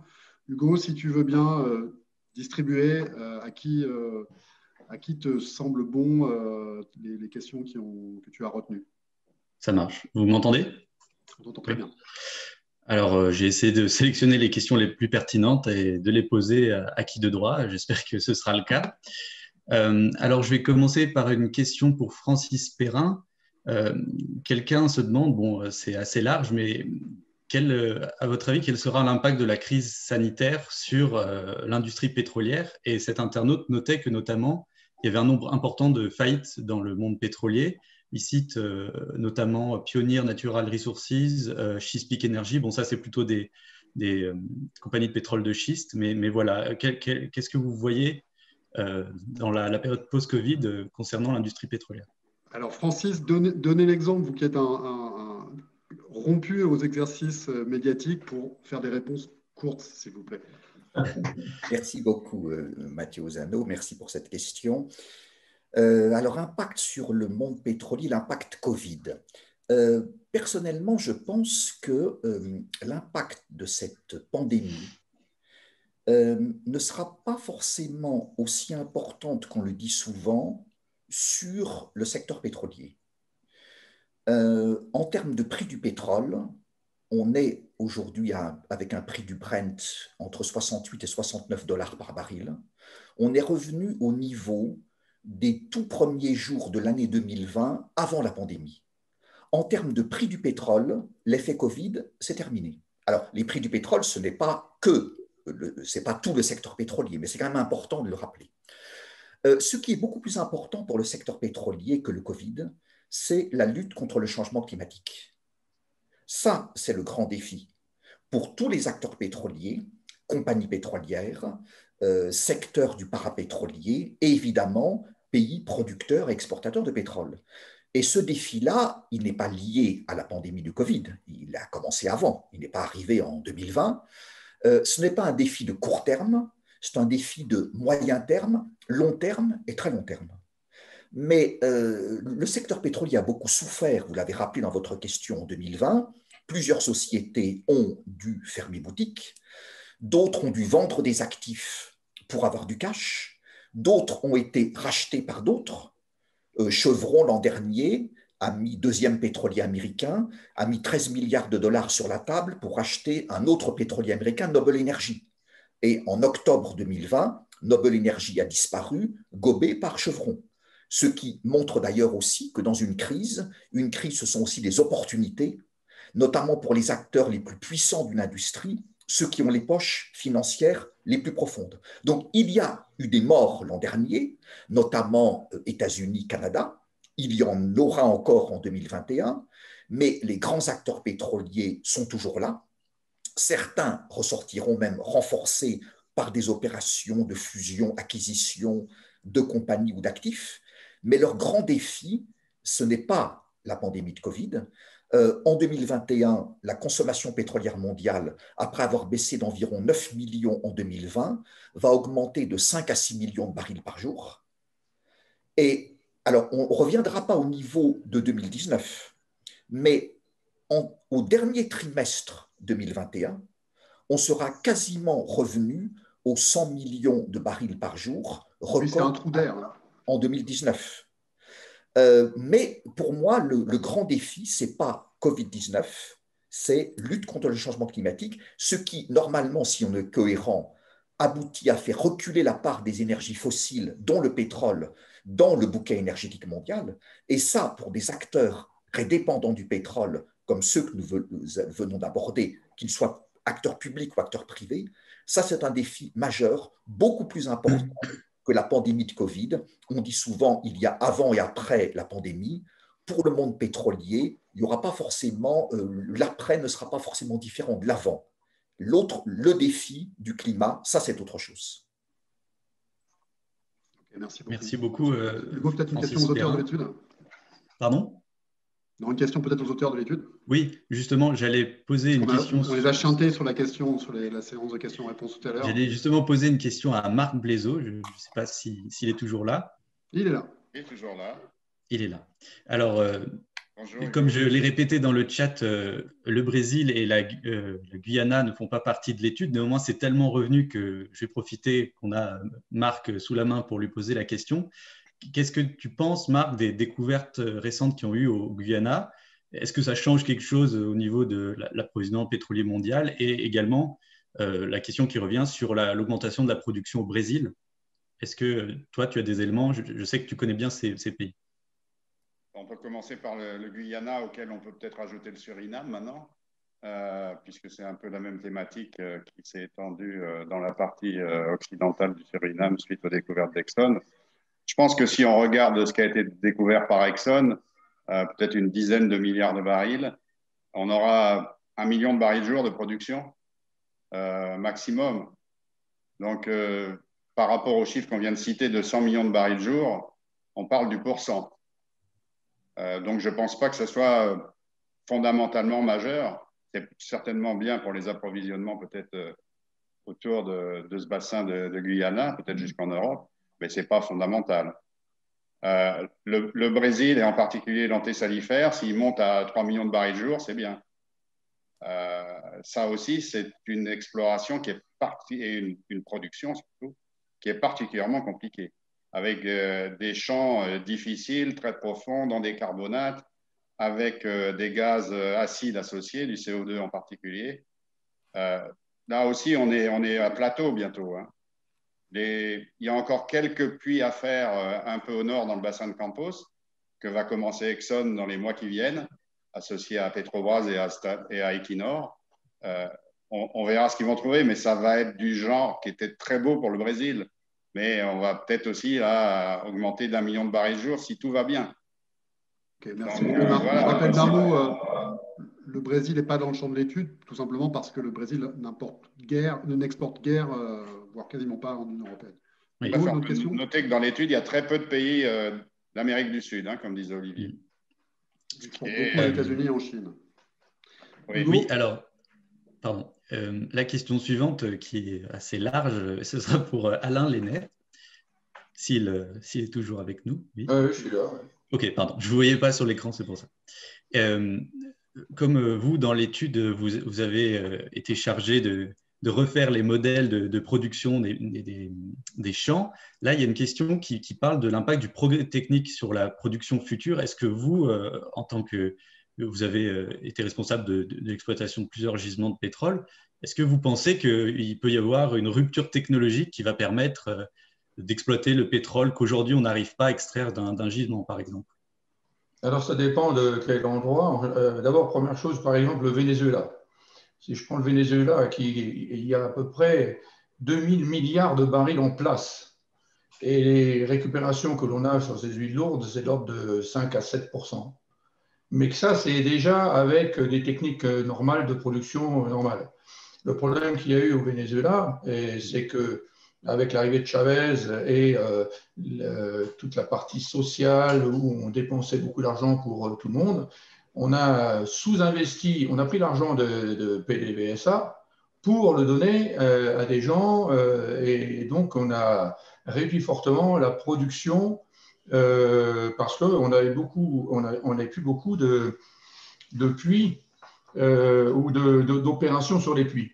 C'est une des raisons pour lesquelles, et c'est une des principales raisons pour lesquelles la production est passée de 2,3 millions, 2,4 millions de barils jour à 400 000 barils jour actuellement. C'est surtout un sous-investissement. Et d'autre part, les compagnies internationales qui sont parties, elles aussi, euh, qui connaissaient, qui avaient de la technologie, euh, ont été remplacées surtout beaucoup par euh, des, militaires parfois.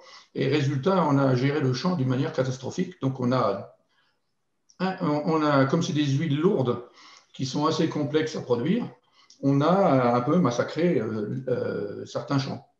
Mais ça ne veut pas dire que, par exemple, pour le Venezuela, pour reprendre l'exemple, si on mettait de nouveau des compagnies internationales pour revenir et, retravailler de manière correcte sur ce champ-là, sur ces champs-là, euh, je dirais qu'il y a quand même pas mal de choses, de, potentiel qui pourraient, euh, qui pourraient sortir du Venezuela. Et ça, donc, euh, les réserves, ça dépend vraiment de la politique. Et mais je ne pense pas qu'on a beaucoup produit de, ces champs-là et qu'il y a encore un potentiel important. Donc euh, ça, c'est une première chose pour les huiles lourdes. Le Canada, euh, et, enfin pour le Venezuela et le Canada, par exemple, c'est la même chose, ça va dépendre du prix du baril. Hein. Si le prix est plus, beaucoup plus élevé, à ce moment-là, par exemple pour le Canada, il faut à peu près dans les 80-90 dollars, voire 100 dollars le baril pour que ça soit rentable. Pour le Venezuela, euh, c'est à peu près la même chose. Il faut pas, quand on exporte le, le pétrole bruts, ce qui sort à 3000 centipoises, il faut mélanger avec un autre brut qui vient euh, pour qu'on puisse le transporter jusqu'à une raffinerie, etc. Donc, euh, c'est des coûts euh, qui sont quand même assez importants. Et donc, à 50 dollars, 60, 70 dollars, des compagnies internationales seraient tout à fait capables de remonter la production du Venezuela. maintenant, il y a aussi tout ce qui est EOR, Enhanced Oil Recovery, ou alors, euh, on appelle euh, la production améliorée du pétrole. Euh, la même chose, pour un prix du baril qui, monte à 50, 100 ou vers 100 dollars, il y a beaucoup de projets qui repartaient et qui ont été arrêtés parce qu'injecter des polymères, ça coûte cher. Mais il y a pas mal de gens qui pourraient encore remonter en production avec ces techniques-là, mais qui coûtent très cher. Merci beaucoup. Alors, Hugo, peut-être une, question sur le euh, résultat de l'étude. J'imagine qu'il y en a beaucoup, euh, notamment sur ce qu'on raconte, sur les conclusions des auteurs sur la décennie 2020, peut-être pour, peut pour Olivier. Euh, oui. Alors, Olivier, vous, il y, a, il y, a, une question qui, je pense, vous est adressée. Il y a un auditeur qui se demande quels éléments d'explication le Shift, à travers cette étude, a pu fournir pour expliquer que euh, l'Europe voit sa consommation de pétrole diminuer depuis déjà plusieurs années. Est-ce que euh, vous souhaitez répondre à cette question? Sur le déclin de la consommation européenne? Oui. Est-ce que c'est dû... Euh, enfin, il faut lire l'étude pour le savoir, mais vous pouvez peut-être répondre en, en, premier. Est-ce que c'est dû du coup à une baisse de production des pays fournisseurs ou est-ce que c'est dû à ah, d'autres facteurs? je crois, je crois, que je vois. Je crois que je vois. Il y a effectivement, euh, il y a effectivement euh, à, un endroit du rapport, effectivement, l'observation euh, que les, effectivement, les approvisionnements pétroliers du périmètre UE27 se sont effectivement contractés par rapport à une période, par rapport à une période antérieure. Euh, alors que de façon concomitante, la production des 16 pays fournisseurs continuait d'augmenter. C'est-à-dire que c'est un phénomène qui a été observé effectivement essentiellement euh, entre, euh, enfin, depuis 2010. si cette question, enfin, si le lecteur ou l'auditeur fait référence à ce passage, euh, il est effectivement mentionné, mais c'est un, une question euh, ouverte, euh, que cette, ce tassement, à minima, ce tassement de la consommation et cette réduction des, des, importations est effectivement concomitante d'une poursuite de la, enfin, d'une progression de la, de la production des, des, 16 pays que, que, nous avons étudiés, ce qui effectivement pose en filigrane la question de la contrainte qui s'est exercée, euh, peut-être. En d'autres termes, est-ce qu'il s'agit euh, euh, d'un tassement, voire d'une réduction marginale de la consommation et des besoins indépendamment du contexte général du marché pétrolier mondial Ou bien est-ce que cette, ce début de réduction des besoins, en tout cas satisfait, semble-t-il, euh, est le résultat d'une concurrence accrue au niveau mondial, c'est-à-dire d'un début de mise en concurrence, euh, peut-être pas frontale, mais avec, un, avec une zone de frottement, euh, je dirais, plus forte que ça n'a été dans le passé, avec les autres grandes zones importatrices du monde. Euh, sauf erreur de ma part, euh, il a été rédigé dans le rapport euh, que cette question n'est pas tranchée en tant que telle, mais c'est une, hypothèse qui n'est pas déraisonnable de penser qu'il y a en fait deux éléments de réponse. Premier élément de réponse sont des éléments strictement endogènes à la zone de consommation Union européenne, c'est-à-dire des paramètres propre à chacun des pays qui ont, je dirais, la main sur plusieurs leviers qui dimensionnent de façon, je dirais, plus ou moins instantanée ou plus ou moins décalée dans le temps l'évolution de la consommation. En premier lieu, la fiscalité, également des dispositions réglementaires qui sont de nature à, je dirais, à, à influer sur euh, les volumes de consommation des différents segments de consommation, des différents types de consommateurs.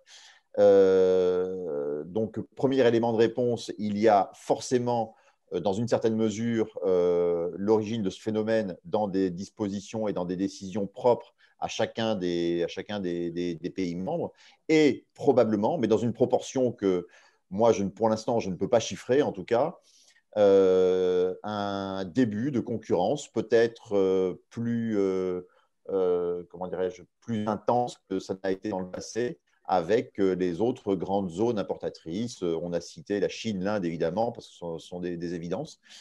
mais ce serait, je dirais, un symptôme d'un début de, je dirais, de, tension sous-jacente, tendancielle, croissante, euh, par, euh, je dirais, par disparition des marges de manœuvre dont disposeraient les différents pays consommateurs euh, pour avoir accès aux approvisionnements qui leur sont nécessaires. Merci beaucoup Olivier. Il nous reste le temps pour une dernière question. Hugo, choisis la bien et puis il sera temps de conclure. Écoute, je vais te la poser à toi, Mathieu.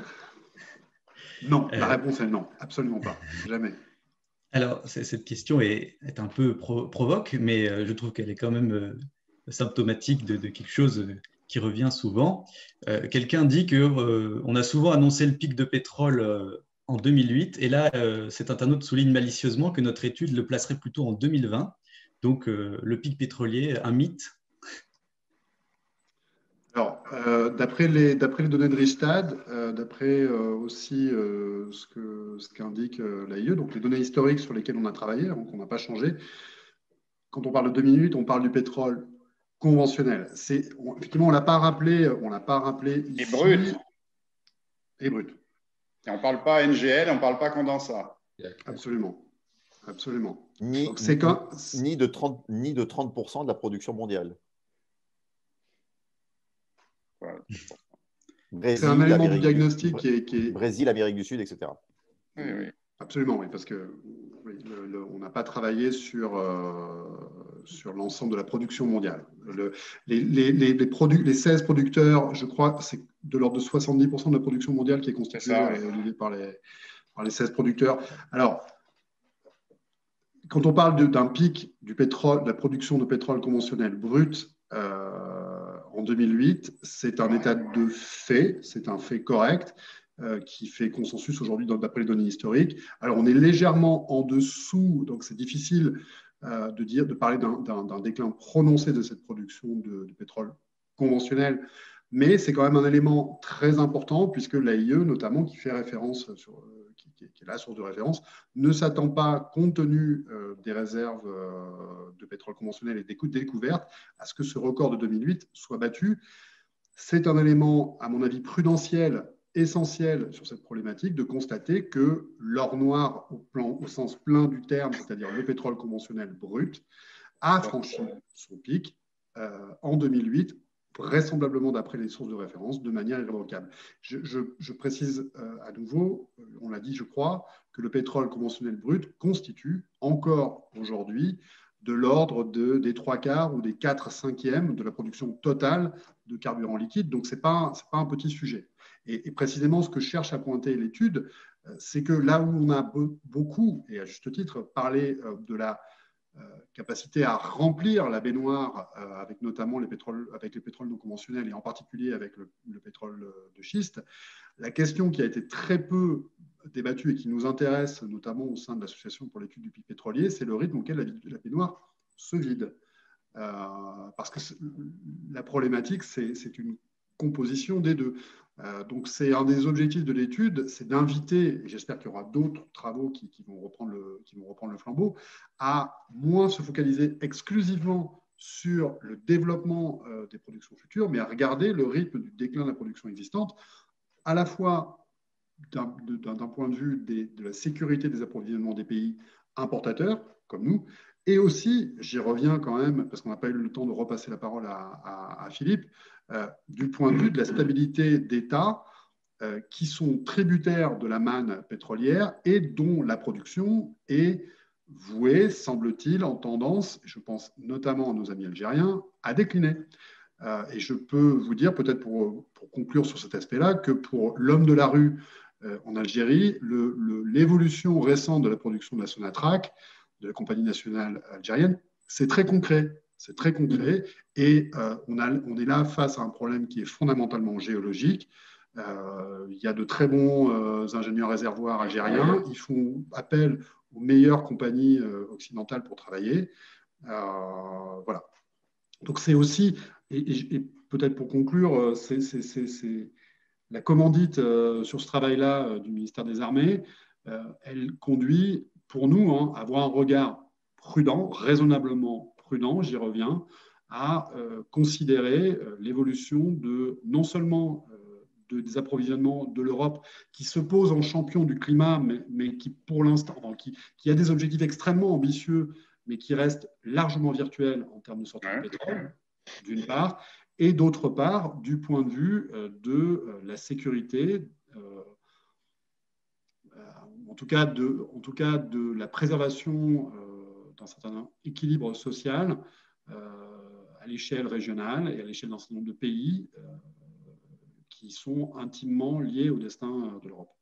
Je pense en particulier, évidemment, aux producteurs majeurs de l'autre côté de la Méditerranée et de l'autre côté de l'Europe, euh, on a très peu parlé de la Russie, mais c'est vrai que c'est une conclusion très forte de l'étude d'estimer qu'il y a un fort risque qui est confirmé aujourd'hui par euh, les analyses du Kremlin d'avoir un déclin, euh, si ce n'est dans les années qui viennent, éventuellement même dans les années qui viennent, mais en tout cas de manière assez inexorable. La conclusion principale de l'étude, c'est de dire il y a des risques sur cette décennie, il y a des risques forts sur cette décennie, et ces risques apparaissent inexorables pour la décennie suivante. Alors, on s'éloigne un peu de l'étude, mais euh, du coup, euh, un, spectateur, un internaute euh, signalait que récemment, il y a eu des cyberattaques sur des infrastructures oléoducs aux États-Unis, je crois, ou gazoducs, je ne me rappelle plus bien. Et il se demande si, pardon, si ce genre de, pipeline, C'est ça. Ce genre de, de, phénomène va se répéter à l'avenir et si on peut le lier à une certaine géopolitique pétrolière. Voilà. Bah, c'est une bonne question, effectivement, parce que euh, on sait que euh, les infrastructures énergétiques font partie des principales cibles, on va dire, des, des, terroristes de l'Internet euh, ou, ou, du hacking.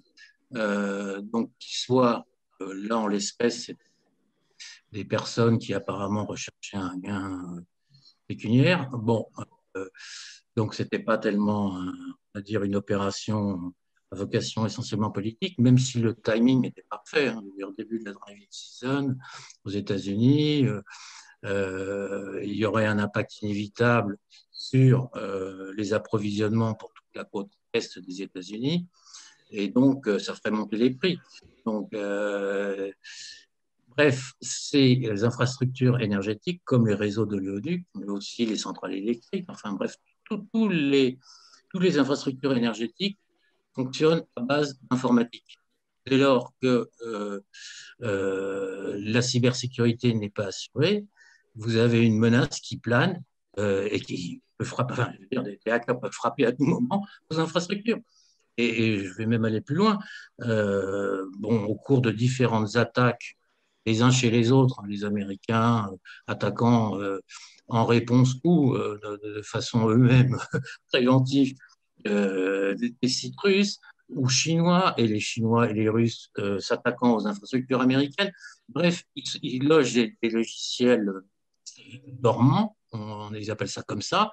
Euh, ils en mettent tellement sur certains réseaux que bon, les experts en cybersécurité arrivent à en identifier, trouver certains, mais ils savent très bien, ces experts, qu'au fond, ils ne les trouvent pas tous. Il y en a certains qui sont cachés euh, qu'on ne peut pas euh, situer ou, euh, identifier, et qui par contre pourront être activés dans l'avenir. Et ça, tout le monde le fait. Je veux dire, les Israéliens l'ont fait sur les centrales énergétiques, les centrales nucléaires en Iran. c'est quelque chose qui, à l'évidence, va avoir de plus en plus d'importance dans ce qu'on appelle la sécurité énergétique dans l'avenir. Et on n'est qu'au début de, l'histoire. Et plus on va aller vers justement euh, euh, une consommation basée sur l'électricité, plus les réseaux électriques vont devenir des cibles potentielles. Et là, c'est toutes nos conditions de vie, plus ce sera du tout électrique, plus nos sociétés sont vulnérables. Ok, merci beaucoup, Philippe. Bon, je crois qu'on a ouvert énormément de perspectives. Donc, je, formule le souhait que ce travail euh, soit euh, un travail euh, début d'autres, on appelle d'autres, notamment sur la réflexion en termes de, sécurité. Et puis, puis aussi, évidemment, je dois y revenir, sur le, fond du, propos pour nous au Shift, qui est d'articuler, et c'est la vocation de ce travail, de permettre d'articuler des stratégies d'évolution énergétique pertinentes. Voilà.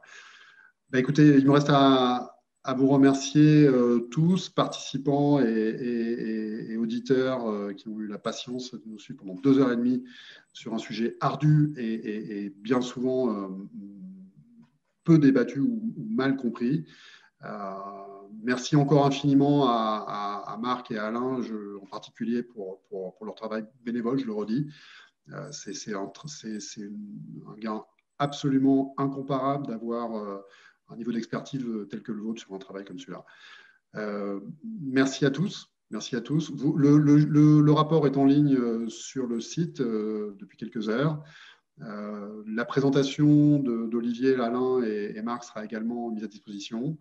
Et puis, puis je vous invite à, regarder ce qu'on va produire justement sur l'articulation de stratégies cohérentes de transition énergétique au Shift Project dans le cadre de notre projet phare de cette année, euh, dans la perspective des prochaines présidentielles, que nous avons immodestement intitulé Le plan de transformation de l'économie française. Euh, merci à tous euh, et bonne, très bonne soirée, d'autant que le beau temps est revenu, profitons-en. Il n'y a, pas que des bouleversements climatiques, il y a aussi des jolies fins de mois de mai. Merci à tous. Merci. Merci. Bonne soirée. Merci beaucoup. Merci. Au revoir.